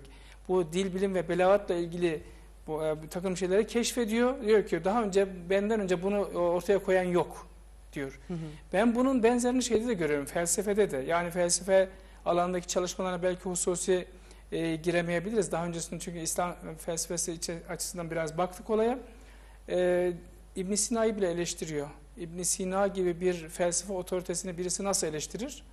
Hı hı. Eleştiriyor. Şöyle diyor bir bağlamda e, ibn Sina diyor eğer diyor bu ceal kavramı var yaratma yapma anlamına gelen bu mecul kavramının diyor ikinci e, türünü bilseydi diyor bu hatayı yapmazdı diyor. Yani Evet. İbn Sina'ya bunu diyebilmek büyük bir ilmi dirayet ve cesaret ister. Gerçekten bunu gösteriyor. Hatta kendi zamanında o büyük kelamcılar kendinden biraz önceki bu Timur döneminin kelamcılarından, büyük alimlerinden Cürcani var. Meşhur e, Seyyid Şerif Cürcani. Onun eserleriyle ilgili o kadar çok eleştirisi var ki o kadar. Yani e, papucunu dama atmak diye bir belki biraz da hafif argo da olabilir bir tabir. E, yani Cürcani'yi o kadar eleştiriyor ki Osmanlı'da da İslam dünyasında da otoritesi yüksek olan bir alimi bu kadar hırpalayıp sarsmak. Yani Şunu da söyleyebilir miyiz hocam? Baktığımız zaman felsefe, işte dil, edebiyat, tarih, e, siyaset, ahlak, e, bütün aslında her şeyde bir fikir fikri var, her şeyde Evet. bir yazısı var, her Evet. şeyde bir söylemi var Evet. ve bunları eleştirel yönden de rahatlıkla açıklayabiliyor. Evet. Yani her yönüyle aslında çok yönlü bir kişilikmiş diyebilir miyiz? Vallahi çok güzel ifade ettiniz. Gerçekten çok yönlü. Ben en başta bunu söylememiştim belki ama yani e, bir alimin genelde siz fıkıh, tefsir, e, hadis, e, kelam alanında ilmi çalışmaların olmasını normal karşılayabilirsiniz. Ama bu alim sadece onlarla ilgilenmemiş. Yani edebiyat var. Nereden baksanız e, şimdi inceleyeceğiz. Evet, şair İbn 3-4 Kemal tane edebi e, eseri var. Ondan sonra felsefe kitapları var. Yani en başta söylediğim için ona ayrıntılı girmeyeceğim. Yani 30-40 civarında felsefe eseri var. Ee, kelamla ilgili çok sayıda kitapları var. Kelam akaid. Yani bunların 40-50 civarında. Böyle birinden bahsediyoruz. Tasavvufa dair söyledikleri var. Şimdi e, bu bağlamda adını anmışken bunun edebiyattaki, Geçelim Kemal hocam. Zade'nin edebiyattaki konumuna geçelim, Geçelim mi? Çünkü hocam. Tabii bir tabii da bağlantıyla dilden çünkü. edebiyata geçebiliriz. Geçelim hocam. Evet. Edebiyattaki şimdi yeri ve eserleri tabii çok önemli. Ee, şu an zaten ekranlara da eserlerini veriyor arkadaşlarımız. İşte ahlak ve siyasetname e, konularında da bildiğimiz kadarıyla Evet. eserleri var değil mi? Tabii tabii. Yani ahlakla ilgili hususi bir e, Nesaih adlı bir kitabı var. Nesaih. Arapçadaki nasihatin çoğulu Nesaih. Fakat e, Nigaristan adlı bir e, şiir kitabı, e, daha doğrusu şiir demiyor, edebi eser. Çünkü içinde hikayeler de var, e, şiir de var. Dolayısıyla edebi tanım nitelemesi daha uygun. E, Nigaristan e, edebi bir eser olmanın yanında aynı zamanda bir ahlak kitabı ve bir siyasetname. Nigaristan. Ee, Nigaristan. Nigaristan Farsça. Madem başladık onunla e, bu- devam edebiliriz. Evet, edelim hocam. Türkçe'ye çevrilmiş değil. Bu Farsça bir eser. Ömrünün sonlarına doğru e, yazıyor. O yüzden ekranda muhtemelen siz de bulup koyamadınız. E, ama bunun üzerine bir doktora çalışması yapmıştı Mustafa Çiçekler hocamız, Profesör Doktor. E, ve ben de inceledim orada. Gerçekten daha öncesinde ben e, Ahlak-ı Muhsini gibi, Ahlak-ı Alai gibi e, ahlak klasiklerini e, sadeleştirdim, Türkçe'ye tercüme ettim. Mesela Farsçadan Ahlak-ı Muhsini'yi Türkçe'ye tercüme ettim. Hüseyin Baykara döneminin e, şair ve e, alimlerinden e, Kaşifi diye bir alim var. E, Molla Cami'nin çağdaşlarından. Onun Ahlak-ı Muhsinisini ile bunu karşılaştırdığımda şunu gördüm. Çok benziyorlar birbirlerine. Gerçekten bir e, ahlaki bir konuyu alıyor yahut da siyasetname açısından e, önem e, ifade eden bir konuyu alıyor. Onunla ilgili küçük bir tanımlama yapıyor. Arkasından e, hi- bir, hikaye, bir, bir veya birkaç hikaye anlatıyor ve şiirlerle de arayı süslüyor. Bu tarz bir yazım var. Bu eserlere siz edebi eser de diyebilirsiniz, ahlak eseri de diyebilirsiniz, siyasetname de diyebilirsiniz. Her üçüne de uygun. E, çünkü bunlar genelde e, sipariş olarak da yazılıyor. Mesela Ahlak-ı Muhsini'yi incelediğim için biliyorum. Onu Hüseyin Baykara, e, Timur'un torunlarından, o kendisi sipariş ediyor. Yani bizim diyor saraydakiler için diyor e, bir ahlak kitabı yaz ve onu yazıyor. Bu şekilde örülmüş. Zaten Nigaristan'ı e, Sadi Şirazi'nin o meşhur şair, meşhur Aa, edip evet. Sadi Şirazi'nin Gülistan'ına nazire olarak yazıyor. E, bununla ilgili de bir çalışma gördüm Türkiye'de. E, Gülistan üzerine yapılmış nazireler. Onlardan önemli bir tanesi de yine Kemal Paşazade'nin bu Nigaristan'ı. Bu eser gerçekten çok latif. Yani Türkçe'ye tercüme edildiği zaman görülecektir. Yani bugünün herhangi bir okuyucusu, yani akademisyen olması gerekmiyor. Yani meslekten bir akademisyen olma, e, araştırmacı olması gerekmiyor. Herhangi bir okuyucu, tahsil düzeyi ortaokul, lise olsun fark etmez. Okuduğunda zevkle faydalanabileceği bir eser olacaktır. Yani bunların Türkçemize kazandırılması. Aslında Kemal Paşazade'nin edebi eserleri Türkçe. Bir istisna bu Farsça. o Yani- ne zaman sizce e, E, tercüme edilecek O- hocam? o edilir inşallah. olacak? Yani birileri etmesi biz ederiz yani bakalım. Yani aslında bu eseri Türkçe'ye tercüme etmeye en Evet. e, uygun isim e, Mustafa Çiçekler hocamız. Yani o kendisi de zaten doktora tezi yapmış. Bunlar e, kazandırıldığında e, Türkçe'de istifade edilecektir. Ve orada e, çok enteresan hikayeler görüyorsunuz. Yani burada bir tane hikaye anlatıp da zaman Hı hı. almasını istemem de e, Anlatın çok hocam, eğitici. olsun. yani bugün hani biz eğitimde şöyle diyoruz. Ya çocuklara biz hiçbir böyle ahlaki değerlerimizi falan kazandıramıyoruz. İyi de kuru kuru anlatımla kazandırılmaz ki. Eskiler Evet. bunun yolunu biliyorlarmış. Araya bir hikaye, bir, Bir kaç masal, beyit koyuyor. Çok Doğru. tatlı, hoş beyitler. Bunları okuyan kişi zaten onların büyüsünde, büyüsüyle konu zihnine yerleşiyor. Yani eğitimde aslında bu araçlara bugün de tevessül edilebilir. Ee, mesela özellikle bizim bu klasiklerimiz, bu edebi klasiklerimiz bu açıdan büyük değer ifade ediyor. Gelelim diğer edebi eserine. Aslında bu yazma e, şeyden yayınlandı. Türk Dil Kurumu'ndan 2016 mı 2018 mi? E, ve e, Türkçe hazırlayanı da yine bizim e, eski YÖK Başkanımız Yekta Saraç Hoca'nın hazırlamasıyla Türkçe e, Türkçe değil mi? Zaten Türkçe bir eser de Hı hı. Osmanlı transkri- transkripsiyonla e, yayınlandı. E, ekranda da görmüştük. Hı hı. Divanı. Hı hı. Ve bir takım başka şiirler de eklenmiş oraya. E, üçüncüsü Yusuf-u Züleyha idi. Yusuf-u Züleyha bir e, edebi ürün tarzı. Sadece Kemal Paşazade'nin yok. Bu alanı bilenler biliyor. Çok sayıda yani sayılarını sayamayacağım kadar birçok alim aynen böyle Leyla ve Mecnun yazar gibi Yusuf-u Züleyha da yazıyor. Bu bir tarz. E, onun Yusuf e, Züleyha'sının özel yönlerinin olduğunu söylüyorlar araştırmacılar. Ben sadece bir okuyucu olarak baktım ama şunu Hı. gördüm. Şimdi Yusuf-u Züleyha'ya bakıldığında ne anlatılıyordur diye insanlar aklından geçiriyordur Doğru. okumayanlar. Aslında orada yani e, bu tabir e, çok da şey değil aslında absürt olmaz bir aşk hikayesi anlatılıyor. Hı. Yani ne olursa olsun Kur'an-ı Kerim'in anlattığı ve bir peygamberin bir tarafında bir peygamber Hazreti Yusuf diğer tarafında e, işte e, Yusuf Aziz- e, Mısır Azizi'nin hanımı iken işte Yusuf, Hazreti Yusuf'a aşık olmuş bir Züleyha. Yani bu var. Bu bizim edebiyatımızda işlenmiş ince ince. Herkes maharetini orada göstermiş. Ne kadar yani o duyguları, o, o hasretin ne kadar başarılı anlatıyorsa o kadar başarılı bir şey oluyor, edebi eser oluyor. Doğru. Yani edebi zevki olanlar alıp okuyabilirler. Gerçekten Türkçe olduğu için anlaşılıyordu. Yani %80 oranında o bir okuyucu anlar o eseri.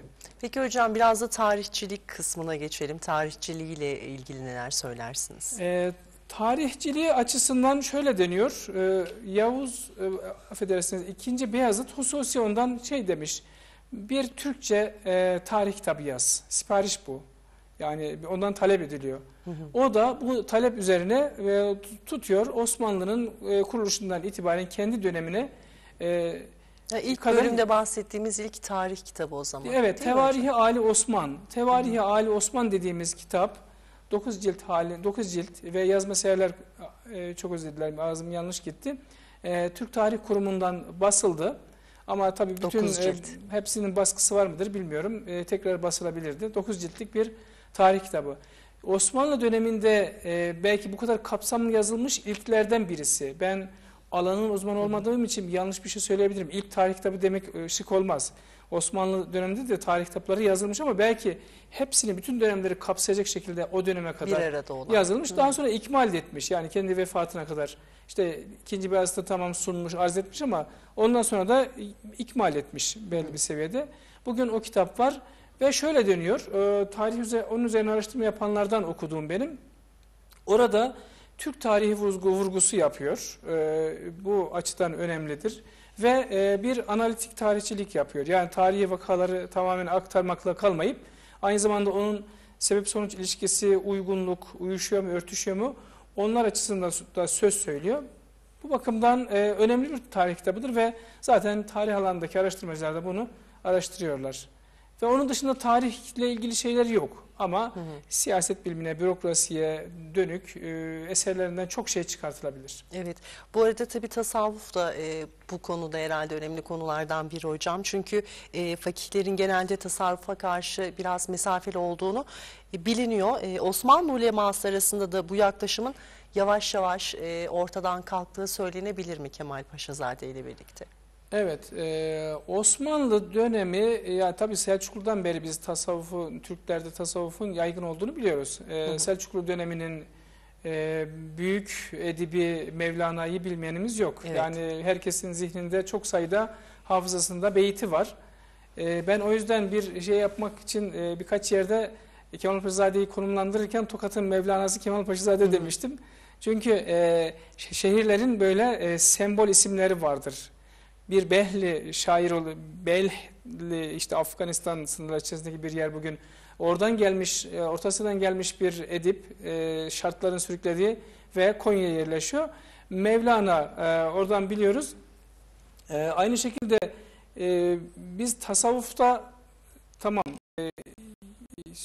ne diyeyim Selçuklular döneminin belli bir payı var. Ama asıl Osmanlı döneminde kökleşiyor tasavvuf ve kurumsallaşıyor. E, tabii ki o dönemdeki ne diyeyim hem Mevlana'nın Mevlevilik şeklinde veyahut da işte halvetilik, melamilik e, değişik şekillerde daha sonra işte Kadirilik, e, Nakşibendilik e, kökleşiyor Osmanlı'da ve Osmanlı bunları dışlamıyor. Hatta onları Osmanlı'nın sonlarına doğru olsa gerek herhalde e, kurumsallaşıyor da. Bunların her birisi kayıtlı e, birer kurum olarak varlıklarını sürdürüyorlar istismarın önüne geçmek için. Geçmek için. Kemal Paşazade'nin buradaki pozisyonunu ben sunmak için bir şey söyleyeceğim.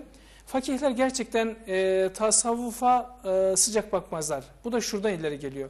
Tasavvuf e, serbest e, görüş belirtilen bir ada, alan. Çünkü tasavvuf e, dini kalıpları o e, ne diyeyim e, dindeki e, hükümlerle örülmüş biraz daha bazı kimselere sert gelebilecek, katı gelebilecek o e, alanları e, şey yapıyor, e, yumuşatıyor. Tasavvuf, e, tasavvufi dindarlığın böyle bir yumuşak tarafı vardır. Biraz daha hoşgörünün olduğu, ondan sonra serbest e, bir görüşün ifade edildiği bir alandır. E, tabii ki tarikatla tasavvufu yine de karıştırmamak gerekiyor. Birisi de teori ve felsefe öne çıkıyor tasavvufta. Tarikatlarda e, pratik öne, öne çıkıyor. Bunu en başta e, şeyden biliyoruz, Mevlana'dan, Yunus Emre'den biliyoruz. Ve Nakşibendilik Osmanlı'da yay- yaygınlaşıyor, kökleşiyor. Kadirilik de belli bir şekilde ama Nakşibendilik özellikle çok kökleşiyor. Kemal Paşazade kendisinin doğrudan bir tasavvufi tecrübesi olduğu görünmüyor. Ama e, bir fakih olarak ister istemez aşırı tasavvufi durumlara e, eleştiriler de. Mesela raks ve devran diye bir tasavvufta şey vardır işte raks, dans demek. Belli işte döner, dönerek işte dans ederek bazı e, ritüeller gerçekleştiriliyor. E, inanca e, ve İslam inancını, ibadetini e, baltalayacak veyahut da tehlikeye sokacak boyutlara varan e, uygulamalara eleştiri yöneltiyor. O açıdan onu söyleyelim. Fakat hiçbir zaman kategorik olarak tasavvufu dışlamıyor. E, dışlamadığının birkaç örneğini verebilirim. Mesela özür dilerim. İbrahim Gülşeni. E, Gülşeni tarikatı Osmanlı'da e, kökleşiyor. E, ve İbrahim Gülşeni ile ilgili mesela bir e, kovuşturma da oluyor, bir soruşturma oluyor. Bunun en e, şeyde araştırmalar yapılıyor kanuni döneminde. E, sonunda e, şey ikna olamıyor İbrahim Paşa, Vezir-i Azam İbrahim Paşa Kanuni'nin sadrazamı. E, konuyu bir de şeye arz ediyor e, Kemal Paşazade'ye. Üstadım bununla ilgili bir tahkikatta siz yapar mısınız? Bunun üzerine Kemal Paşazade onların e, onun bulunduğu meclislere bizzat giderek dinliyor. Ondan sonra eserlerini inceliyor ve husus olarak da konuşuyor. En sonunda şöyle diyor.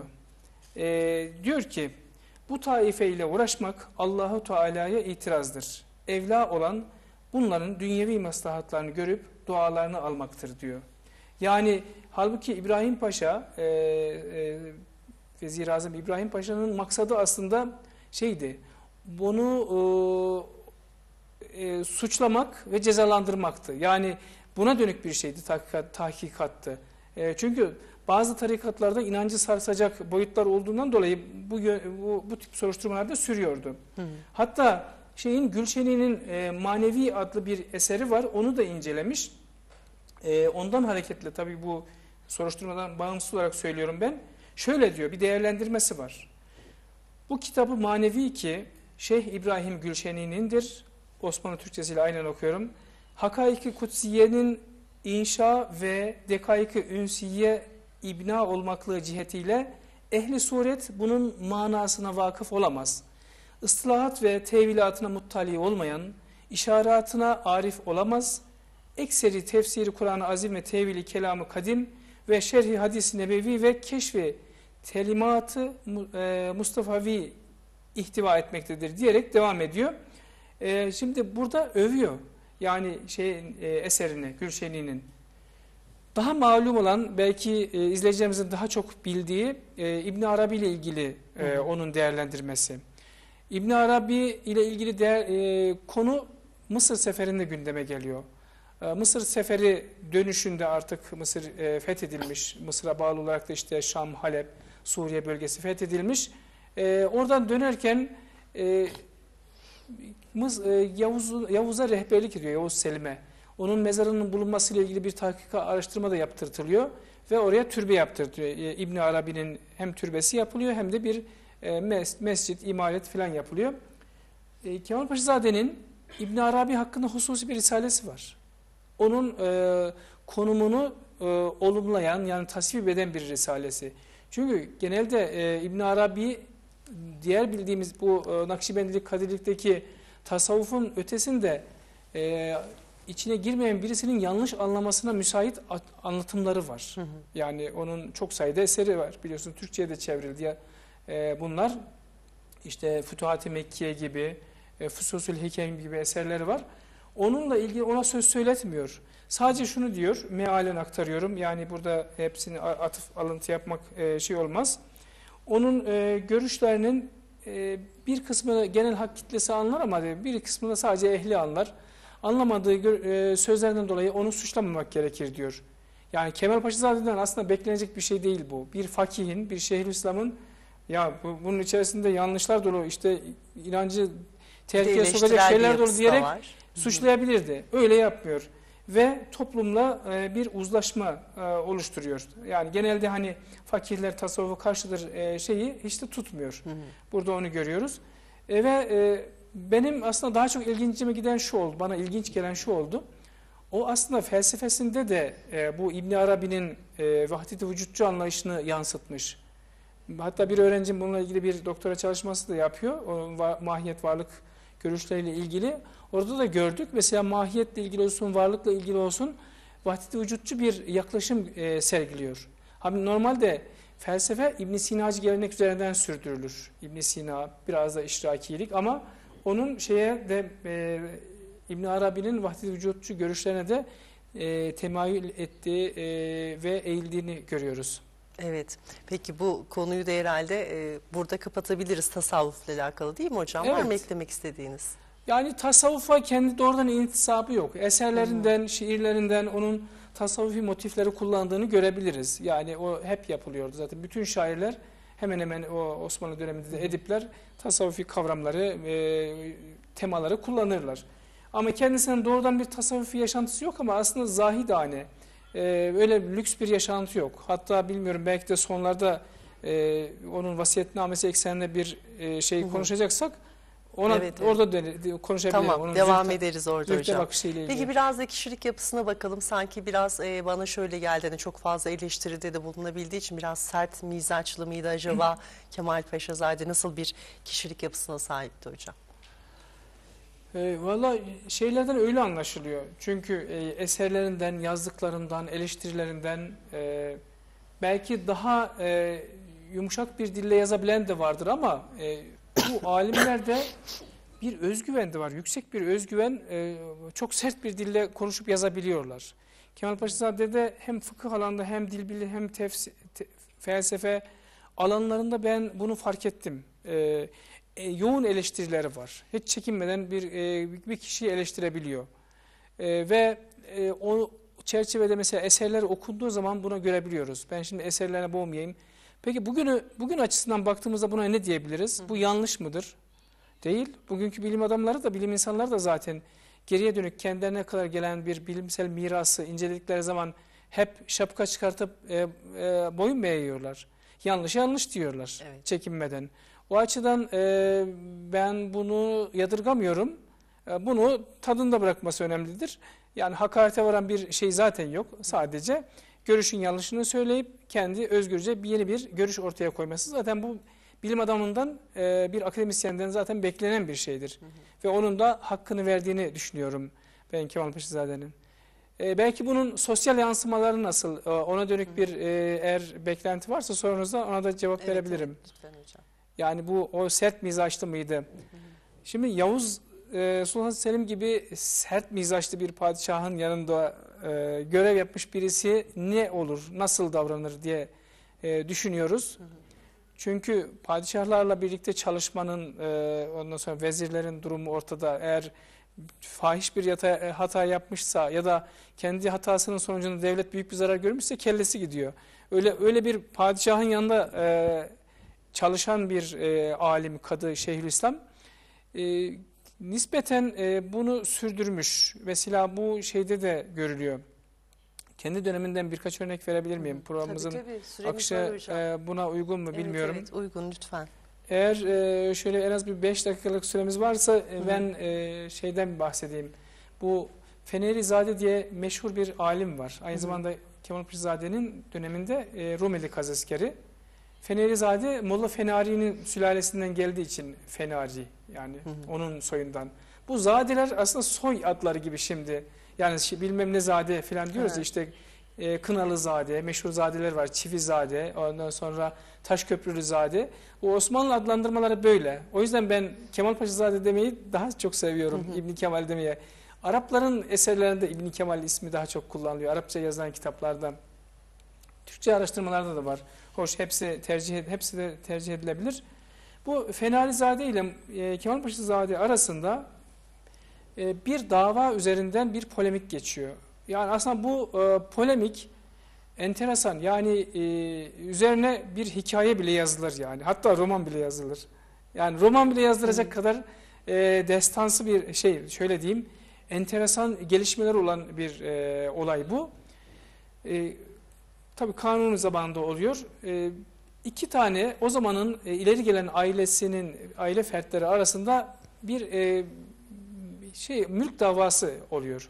O mülk davasına e, Fenerizade bir karar veriyor. Ya e, işte ne diyeyim? Bu kararı e, bu verdiği e, ne diyeyim karar işte sonuçlandıracak dava şöyle şöyleydi işte iki kişi arasında burada özel isimler de var ama ayrıntıya girmemek için diyorum. İşte hatta içlerinden dava taraflarından birisi hanımefendi bilmem Ayni Hatun ile işte bilmem ne efendi arasındaki e, dava. Bu davada e, kararını veriyor e, ve gönderiyor. E, onaylanması için üst merci Şeyhülislam'a gönderilecek. Şeyhülislam'a Evet. gönderiyor. Şeyhülislam bunu onaylamıyor. Bu Kemal Paşazade. Bakıyor, inceliyor. Hatalar dolu, yanlışlar dolu. E, bunu gönder diyor. E, işte getiren ulakla birlikte geri gönderir. Bunu düzeltsin gelsin. Şöyle muhtemelen fırlatmıştır yani. Bunu e, göndersin, düzeltsin gö- öyle getir diyor. E, Ondan sonra götürüyor. E, Fenerizade bunu düzeltmiyor. Diyor ki o da e, üst perdeden muhtemelen davaları var. Önceden böyle böyle e, beri gelen bir hesaplaşmaları var. E, buna yanlış falan yok diyor. O da ısrar E, ediyor yani. götür diyor. Ya bu muhtemelen iki bürokrat kapışıyorlar. Yani birisi e, Şeyhülislam bir üst rütbe, birisi de aslında Şeyhülislam'a yakın bir makam e, kazasker. Yani Rumeli kazaskerler genelde Anadolu kazaskerlerden daha konumca üstün, yüksek görülüyor. Yani birisi daha üst önde protokolda. E, bu kendisini muhtemelen e, yani sen Şeyhülislam'san ben de kazaskerim. Yani ne sen ne, ne diyorsun der gibi. Bir atışmaları var anlaşılan. Geriye dönük bir şeylerin de olduğu anlaşılıyor. E, düzeltmiyor hiçbir şeyi geri götür e, onaylasın diyor. Gidiyor tekrar Kemal Paşazade'nin önünde. Diyor ki bakın bunun diyor şu şu şu açılardan hatalar var götür bunları düzeltsin öyle getir. Götürüyor bu sefer sadece küçük bir düzeltme yapıp geri gönderiyor. Olmamış diyor. Yani sadece bir mimi değiştirmiş geri göndermiş bana diyor. Buradaki temel hatalar duruyor ben bunu onaylamam diyor. Tekrar Yani ediyor. bu e, sağ, devletin üst makamına sadraz, e, vezir-i azam mertebesine kadar çıkıyor. İbrahim Paşa olaya müdahil oluyor. İbrahim Paşa e, diyor ki e, Kemal Paşazade'ye bunu götür diyor. Orada hatalar neyse hepsini tespit etsin ve göndersin. Düzeltirse düzeltir. Düzeltmesi gereğini yaparız diyor. E, yani şeye e, Fenerizade'ye geri gönderiliyor bu e, Kemal Paşazade'nin düzeltme istekleri. Ee, bu bu sefer e, korkmaya başlıyor, tedirgin oluyor. Muhtemelen o arada geçen ifadelerde ne derler, satır aralarında neler geçiyorsa muhtemelen kelle mi gidecek, ne yapacak hani alıyor tabirle yani veyahut da makamından olacak. Yani şey çok ileri noktaya varıyor. Bunları düzelt deniyor. Bunları evet hemen orada aracı kişiye de e, şey yapıyor. Diyor ki ne yapayım ya tedirgin oluyor e, Fenerizade. Ve e, Kemal Paşazade bu arada şunu yapmış. Onun e, kararındaki hataları diyelim ki bir sayfalık karar. Kararındaki hataları hem dilsel olarak incelemiş, dil üstü e, dil açısından hem de e, hukuk tekniği yöntem açısından incelemiş. Ya her iki açıdan da ayrı ayrı incelemiş. Bunlar bir belki de e, fıkıh hukuk alanında örnek bir e, inceleme olarak e, şey yapılabilir, okutulabilir bile yani. Ben onların aslını gördüm ama şu anda izleyicilerimize o detayları sunmak olmaz. E, ve bunları tek tek görünce hatalarını gerçekten şurasına hayır denilecek hiçbir yanı yok. Fakat o esnada e, Fenerizade son bir ha- hamle şöyle bir şey yapıyor. E, Kemal Paşazade'yi başka bir açıdan köşeye sıkıştırmaya e, çalışıyor. O da e, Afyon meselesi. Afyon'la ilgili bir risalesi var Kemal Paşazade'nin. Tabii o dönemde de yani Afyon yani bugünkü anlamda bir şey olmasa bile kullanılıyor. Yani yiyecekleri de kullanılıyor, bilmem ne de kullanılıyor. E, Afyon'la ilgili verdiğin fetva şeriata aykırı. Ben de bunu yayarım millete. Ondan sonra insanlara yayarım. Yani belden aşağı Olay vurarak. Evet, belden önce. aşağı vurarak Kemal Paşazade'yi köşeye, köşeye sıkıştırmaya çalışıyor. E, yazdığı eserde bu var. E, işte sen dedin ki işte "Hu Afyon şöyle şöyledir. Bak işte ben de insanlara söylüyorum ey ahali duyun. Bu adam Afyon'un işte helal olduğunu söyledi filan diyerek onu belden aşağı vurarak ha- halkın ve e, devletin gözüne düşürmeye çalışıyor. Muhtemelen e, şey e, Kemal Paşazade'nin tedbiri daha ileri aşamaya gitmiş olsa gerek ki bu hamle hiçbir işe yaramıyor. Ve en sonunda o Kemal Paşazade'nin bütün dediklerini yaparak metni düzeltip göndermek zorunda kalıyor. Ve kazanan taraf Kemal Evet, Paşazade Kemal oluyor. Paşazade oluyor. Ama işin e- enteresan tarafı içinde e, İbrahim Paşa da var. Yani ben şimdi olayı Kemal Paşazade'den çıkartıp e, dönemin diğer aktörlerine getirmek istemem ama Kanuni devrinin anlı şanlı meşhur Evet, e, vezir-i azamı İbrahim, İbrahim Paşa'yı da incitmiş bu e, Fenerizade. Fenerizade'nin onunla da bir alıp veremediği var ve aslında e, hasımları çok. Dolayısıyla Kemal Paşazade ile e, İbrahim Paşa sanki işbirliği yapmış gibi de görünüyor ama usulüne uygun. Burada hiçbir kural dışılık yok. Kemal Paşazade kendi zihni, akli di- dirayetiyle onu yeniyor, alt ediyor. Peki. Kısa bir reklam arasına gidiyoruz değerli izleyenler. Birazdan devam edeceğiz.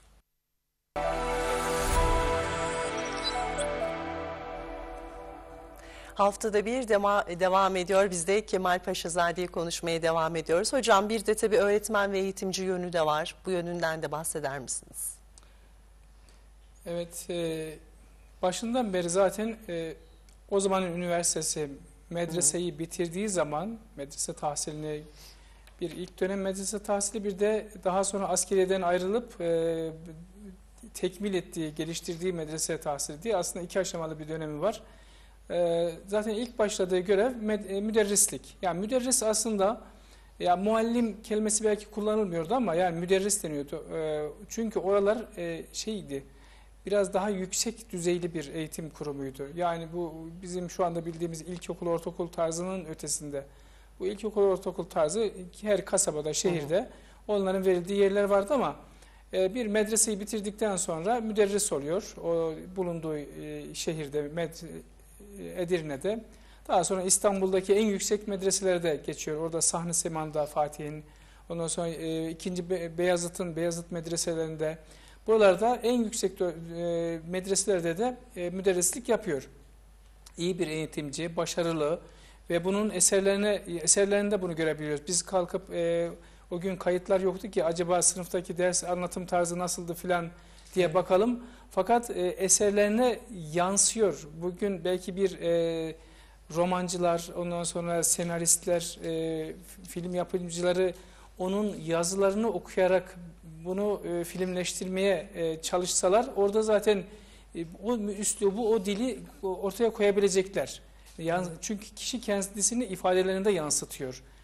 E, yani buradan ben şunu anlıyorum. O e, sınıf ortamında muhtemelen çok etkili bir öğretmendi. Yani ağzına baktıracak. Hani bazı öğretmenler vardır.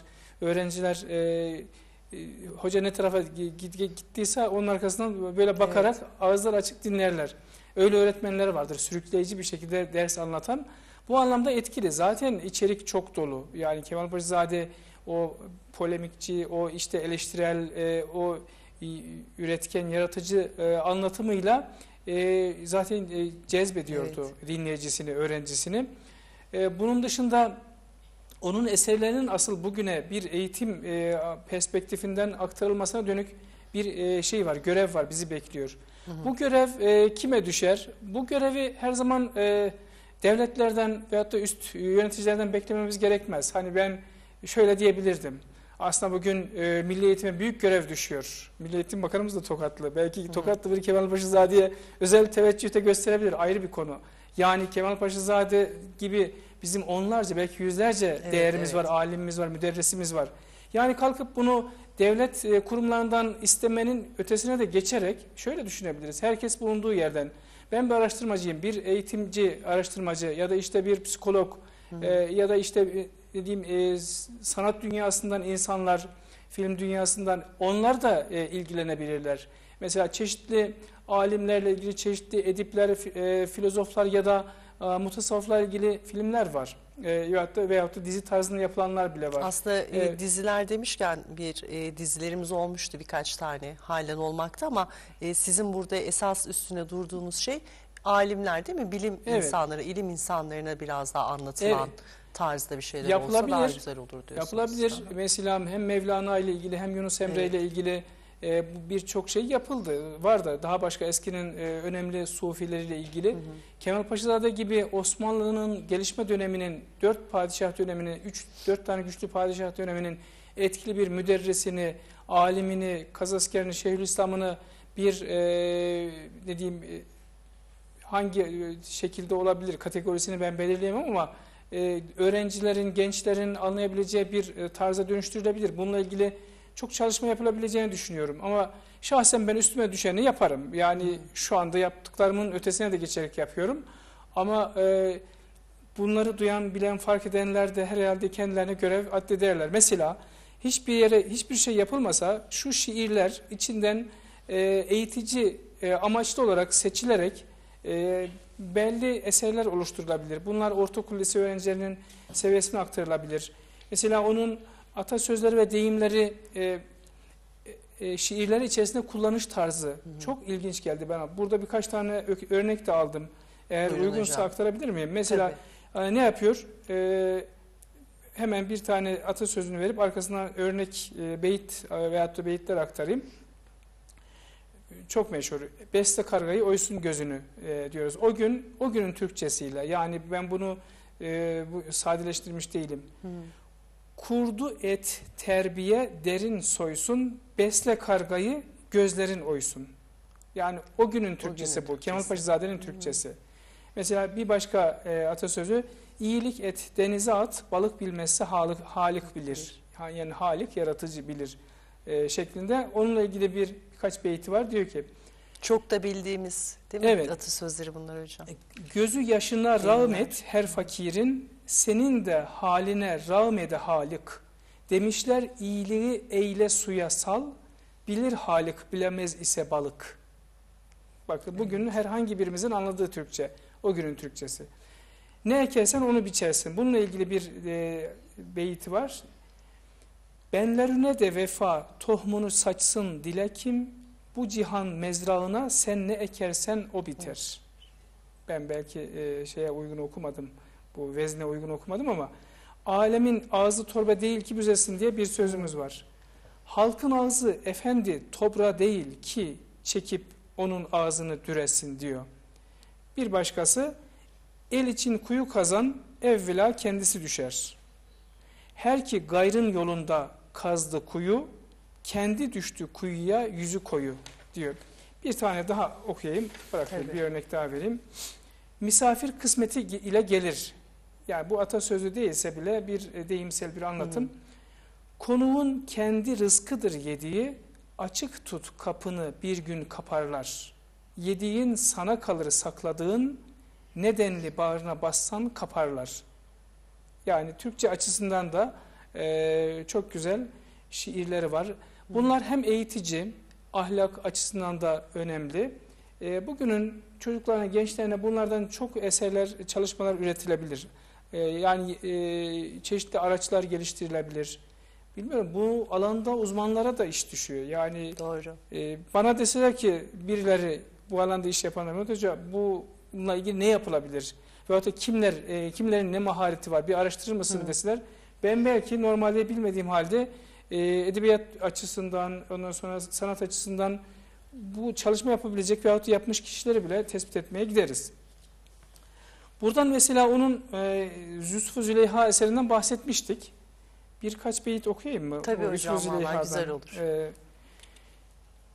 Yusuf Züleyha tabii ki e, çok hacimli. Kaçtı? 7777. Yani 7 ile bir e, şey var. Demek ki bu edebiyatçılar bunu biliyorlardır. Hı hı. Demin bahsettiğim e, e, Mersiye de 7'li. 77 beyitten oluşuyor. Bu e, Yusuf Züleyha'da 7777 beyitten oluşuyor. Yani 7'yi tamamlıyorlar. Şöyle diyor, bir yerden almıştım, hoşuma gitmişti. Ederken gönlü can mülküne seyran, gözüne tuş olur bir mahı taban. Göz ucundan gönlü derdine düştü, muhabbet oduna yandı tutuştu. Işkın belasına müptela olalı gönül, derdi gam ile doldu musavver bela gönül. İster ki haki payine yüz süresin şehin, müşkil budur ki halini bilmez geda gönül diyor. Aslında benim en başta aktarmak istediğim e, birkaç beyti vardı. Onun e, çok meşhur. E, aslında e, internet ortamlarında da dolaşan e, hatta biri ismini hatırlayamadım e, besteleyerek de koymuş. Kısmetindir gezdiren yer yer seni, arşa çıksan akıbet yer yer seni. Onun için ona derler dahi yer, Adem'i o kendi besler, kendi yer. Yani yer kelimesini tekrarlayarak ürettiği bir beyitler. Şu ahlaki öğüt içerikli birkaç beyti de e, okuyarak Tabii hocam. bu faslı kapatayım. Diğer e, sorunuza geçeyim. Cihan bir hanedir, arayışı çok, içine girenin asayişi yok. Düşer derviş ise teşvişi nana, ve ger sultan ise fikri cihana. Kim bağlamazsa sim üzere gonca gibi dil, bağı cihana gül gibi hoştem gelir gider. Gayet de anlaşılır beyitler Evet. değil mi? Türkçe açısından da baktığımızda. Şimdilik tabii ki bunlar birer örnekti. Yani edebiyata dair onun günümüz insanına mesajının ulaştırılmasına dair vurgularım baki. Doğru. Ee, benim tabii ki elimden gelecekler belli sınırlı ama biz e. Kemal Ama Kızılzade ile ilgili geleni tabii yapıyorsunuz görüyoruz hocam Evet. bunu sempozyumlarla olsun kitaplarınızla anlatımlarınızla olsun Ee, ne kadar çok duyurabilirsek o kadar iyi diye düşündüğünüz çok e, belli hocam. aslında sempozyum demişken bakın yaptığımız bir faaliyet yeni aklıma geldi. Geçen biz 30 Eylül'de Tokat'ta bir e, bu sempozyum kitaplarının tanıtıldığı bir çeşit lansman gibi bir faaliyet yaptık. Hı hı. e, Tokat Valiliği'nin himayesinde e, Kemal Kızılzade tanıtım programı diye. Orada da bir takım temenniler dile getirildi. Tokat'ın e, siyasilerinden e, isim anmadan e, geçeyim. Ondan sonra e, e, şöyle dendi hatta Kemal Paşazade ile ilgili İbn Kemal ile ilgili daha ileri işler yapmalıyız. Kapatılmış olan enstitüyü tekrar açmalıyız. Çünkü, çünkü Tokat'ta onun adına bir Kemal Paşazade e, İbn Kemal Araştırma Enstitüsü kurulmuştu. E, merhum valimiz e, Recep Yazıcıoğlu zamanında. Hı. Onu tek, tekrar ihya edelim dendi. Hatta Özlem, e, Özlem Zengin hanımefendi bizzat bunu kendisi ifade etmişti. Yani bu ortamlarda da geçmiş bir Hı. e, şey olduğu için söylenmesinde mahsur olmadığını düşünüyorum.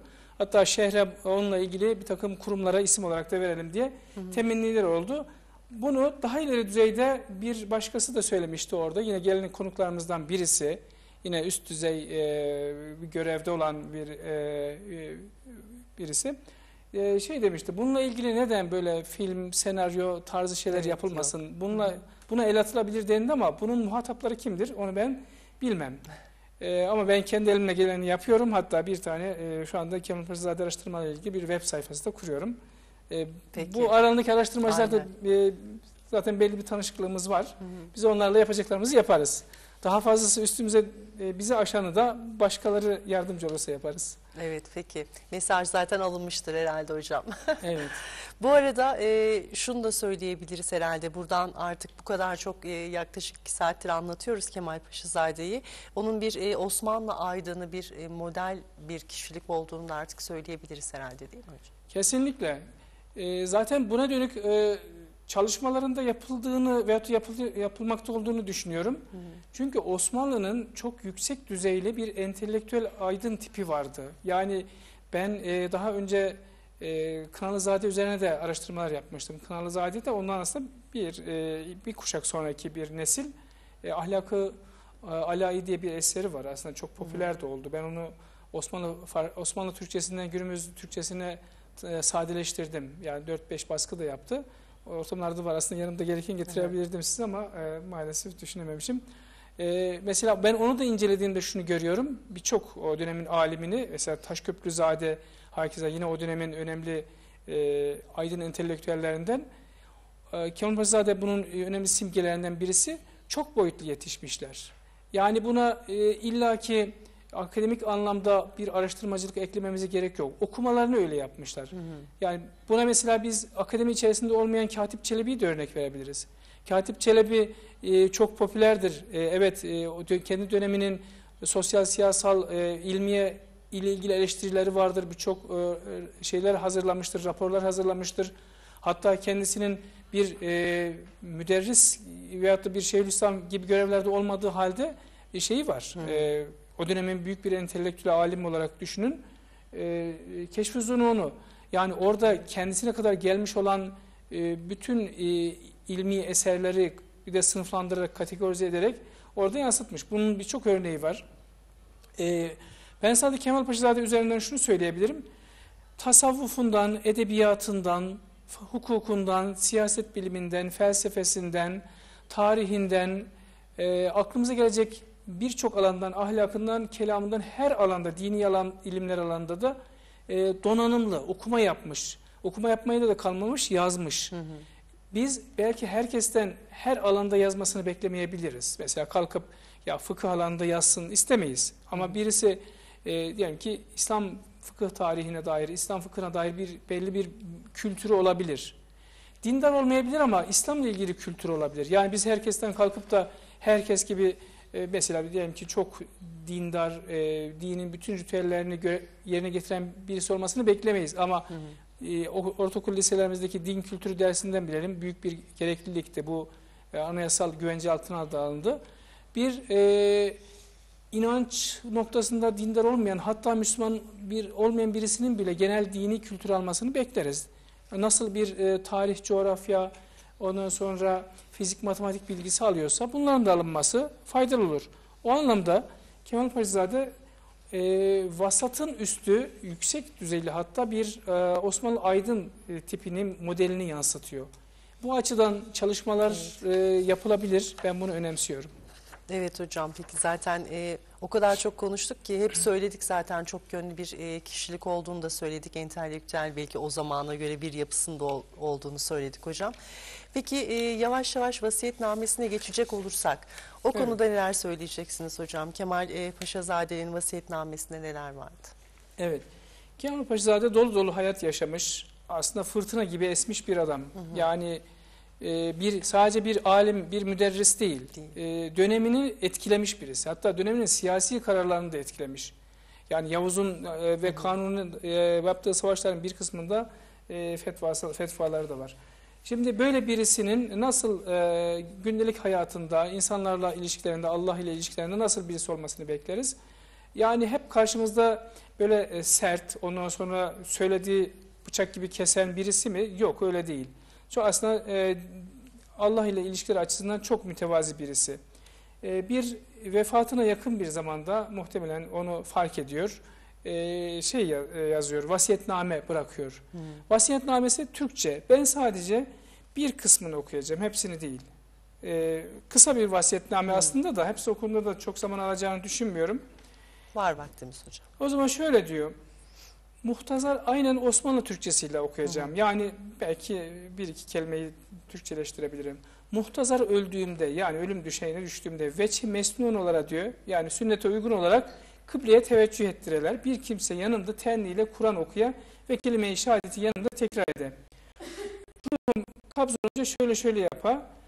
Ee, ondan sonra geçiyorum ben orayı atlıyorum. Ee, Yunar yıkanırken diyor ve götürürken cehr ile zikretmesinler. Bir cümle şöhret etmeyip vehçi mesnun olmayanı terk etsinler, dervişhane götürsünler diyor. Şeyimi de, tabutumu da diyor. Ve defn olduğumda üzerimde cüz okumasınlar. Zira bu Kur'an'ı hafife almak olur diyor. Sonra doğru geliyorum. Ee, öldükten sonra şöyle diyor. Burada paralı bir şey geçiyor. Ee, ne diyor? Evet. Ona gelmeden önce evet. Ee, kabrimi Müslümanlar kabristanına götürsünler. Yol üzerinde bir yüksekçe bir yere defnetsinler. Üzerini ama üzerini yüksek yapmasınlar. Alamet için yontulmadık taş dikeler diyor. Aynen bu kelime geçiyor. Alamet için yontulmadık taş dikeler. Yani böyle gösterişli bir türbe yapmayın benim için diyor. Hatta yontulmadık taş nedir? Bir yerden bir taşı alıyorsunuz, bir baş ucuna bir de ayak ucuna Hı e, yerleştiriyorsunuz. Aslında bu kadar da mütevazi birisi. E, ve e, şeyde de diyor, öldüğünde işte 10 bin akçe işte benim, benim için Kur'an okuyan bilmem filan şu şu işleri yapanlara dağıtsınlar. Hac için şunları şunları şey yapsınlar diye bir vasiyetnamesi var. Aslında vasiyetnameye ek olarak eğer süremiz uygunsa ben Evet uygun hocam. bir var. şeyden bahsedeceğim. Yani onun e, kişisel hayatı e, hususi araştırmayı bekler. Buna dönük çalışmalar elbette yapacaklardır. Ben e, böylesine bir programda belki e, çünkü izleyici kitlesinin bir kısmının ilk defa duyduğu şeyler vardır. Bilgi bombardımına bombardımanına tutmuş olduk. Yani ondan dolayı mazur görsünler. Çok daha cazip anlatamamış Hı. olabiliriz. Yok yok gayet güzel anlattınız hocam. Ağzınıza Ee, Sadece sağlık. bir bir başlangıç olur bu. Kemal Paşazade hakkında okuma yapmak isterlerse Türkçe'de epey bir kitap da var, makaleler de var, e, edebiyat açısından çalışmalar da var. Bir de şu anda yeni yeni araştırmacılarımızın ilgisini çekti konu araştırmalar yapılıyor. Mesela şu dört cilt eser ortaya çıktı ve Evet. daha fazlası da var. Vallahi şu bir kez daha gösterelim. Bayağı Geçen kalın. e, Şöyle e, tutalım. evet. Kemal Paşazade'nin kabri ve babasının dedesinin kabriyle ilgili bir e, hususa şey yapacağım, dikkat çekeceğim.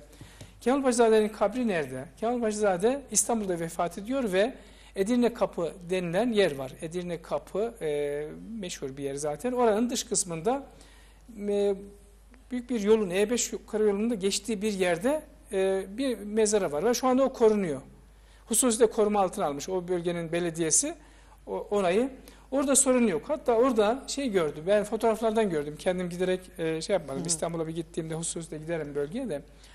E, şey yazmışlar. A- A- Ahmet e, Ahmet İbni e, yok. Yani yazım yanlışı gördüm. Ahmet İbni Kemal. Pardon öyle değil. E, Şemseddin İbni Ahmet. Evet evet şimdi hatırladım. Şemseddin İbni Ahmet yazılı. Yani görsel olsaydı aslında buraya getirmemişim. Şemseddin İbni Ahmet gibi o kadar bakın bir türbesinin üzerine bu yapılıyor, yazılıyor. Oraları inceleyen falan yok mudur? Artık bunu biz mi belediyeye diyeceğiz Evet. bilmiyorum. İbni Yanlış Ahmet değil ki onun ismi. yani. İbni Kemal. Evet. Şemseddin onun lakabı yani o da e, dinin güneşi demek. Yani lakaplar ilk doğduğunda verilmiyor. Daha sonra onun e, şeyine uygun olarak e, gelişimine uygun olarak veriliyor. Ahmet ismi.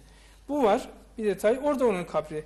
Babasının ve e, dedesinin kabri de e, Fatih'te e, Şehzadebaşı galiba denilen bir yer var. Orada fakat ben o türbeyi görmedim. Yani bu tarihçilerimizin e, bahsettiği, işte anlatımlarında bahsettiği yer orası. Şey dikkatimi çekti. Geçen ben Tokat, Amasya üzerinden biz Ankara'ya geliyoruz. Tokat'tan Amasya ve e, Ankara.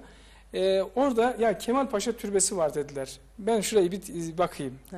Ya Kemal Paşa, e, onun dedesi olan Kemal Paşa'nın türbesi İstanbul'da, Fatih bölgesinde. E, çünkü orada e, vakfı falan da varmış. Bu, bu kimmiş, bu gideyim dedim. Gerçekten baktım, e, Kemalettin Ahmet e, Paşa diyor. Öyle bir e, şey koymuşlar. Hepsi karman çorman. E, burada ben onların fotoğrafını çektim. Bu Görünür mü? E, yani fotoğrafını çektim. İçeride bir levha var. Yani bunu tanıtan, o e, türbede yatan kişiyi tanıtan. Burada anlatılanlardan şunu söylüyor. Çok özlü. Ben kalkıp da bir e, belge araştırması yapmak için bunu söylemedim. Diyor ki bu şahıs diyor Yavuz Selim zamanında diyor Tokat'a diyor e, vali atanmıştı. İşte veyahut da e, ne diyeyim o bölgenin mülki amir olarak atanmıştı. E, orada işte bazı isyanlarda adı çıktı veyahut da işte bir takım durumlardan adı çıktı ve Yavuz onu öldürttü. Ya Kemal Paşazade dediğimiz kişi Yavuz zamanında yaşamadı ki. Kemal Paşazade dediğimiz kişi e, Fatih ve 2. Beyazıt zamanında yaşıyor. Evet. İkinci Beyazıt zamanında da vefat ediyor. Yavuz zamanında e, va- vakti geçmiş değil. Üstelik bu dede yaşı e, Kemal Paşa e, Yavuz ile birlikte yaşayan e, Kemal Paşazade yani torun.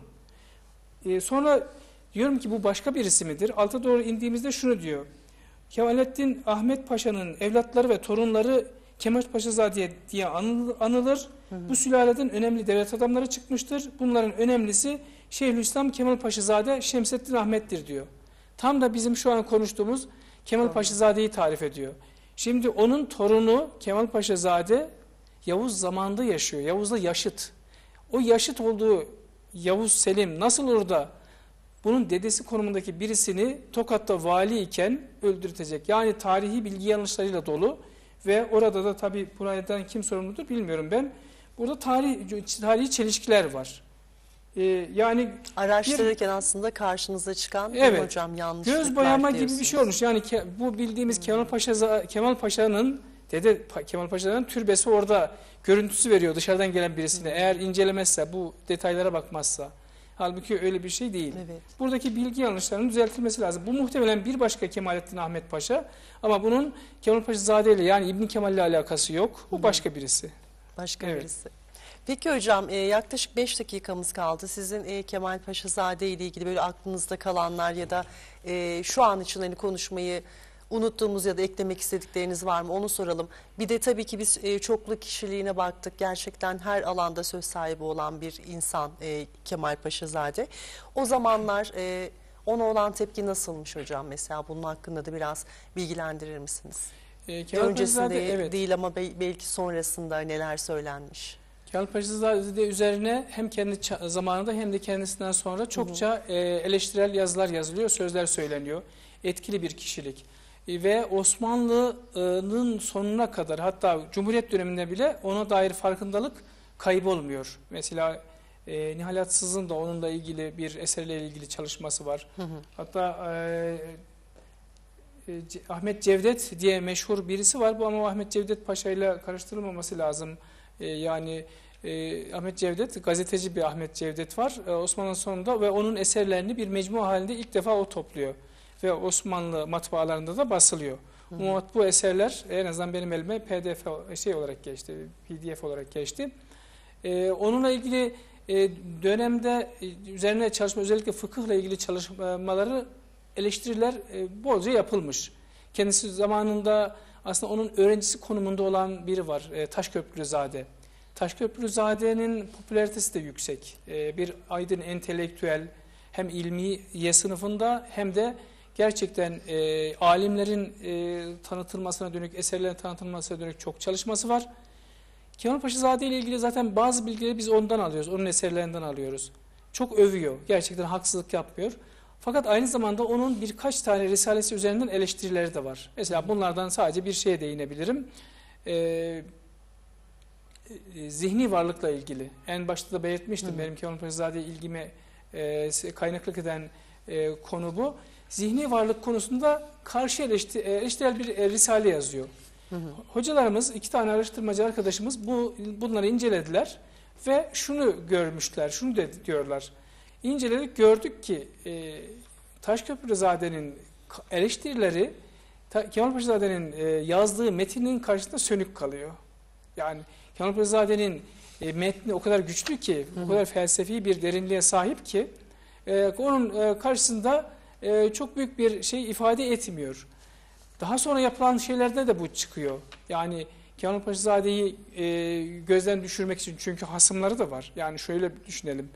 Biraz bahsetmiştim ama yani her devirde bürokrasi, ilmiye sınıfı içerisinde çokça elbette ki rakipler çıkıyor. O rakipler Doğru. içerisinde siz e, ister istemez eleştirileceksiniz. Hı hı. Yani melek de olsanız, peygamberane bir insan kişiliğiniz de olsa eleştireceksiniz. Üstelik Kemal Paşazade öyle rahat duran birisi de değil. Yani gerçekten eski dönemdeki alimleri kendi çekinmeden eleştirmiş ki eleştirilmesin.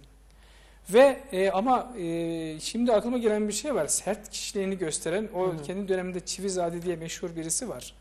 E, galiba e, şey de görevi de yaptı herhalde. E, kazaskerlik görevi de yaptı. Onunla bir e, yine takışmış bir durumlarında e, onu yani Çivizade kendisini zor kurtarıyor onun elinden. Çünkü ona karşı büyük bir yanlış yapıyor. Muhtemelen o en başta ba- e, bir ara konuştuğumuz Hı hı. Fenerizade'deki durum da o. Fenerizade akıbetin kötüye gideceğini anlayınca hemen tamam diyor, Evet. dediklerini yapacağım diyor ya. Benzer Aynı şey. şekilde Çivizade'nin de öyle bir durumu var. Ee, en sonunda kendisini zor kurtarıyor Kemal Paşazade'nin elinden.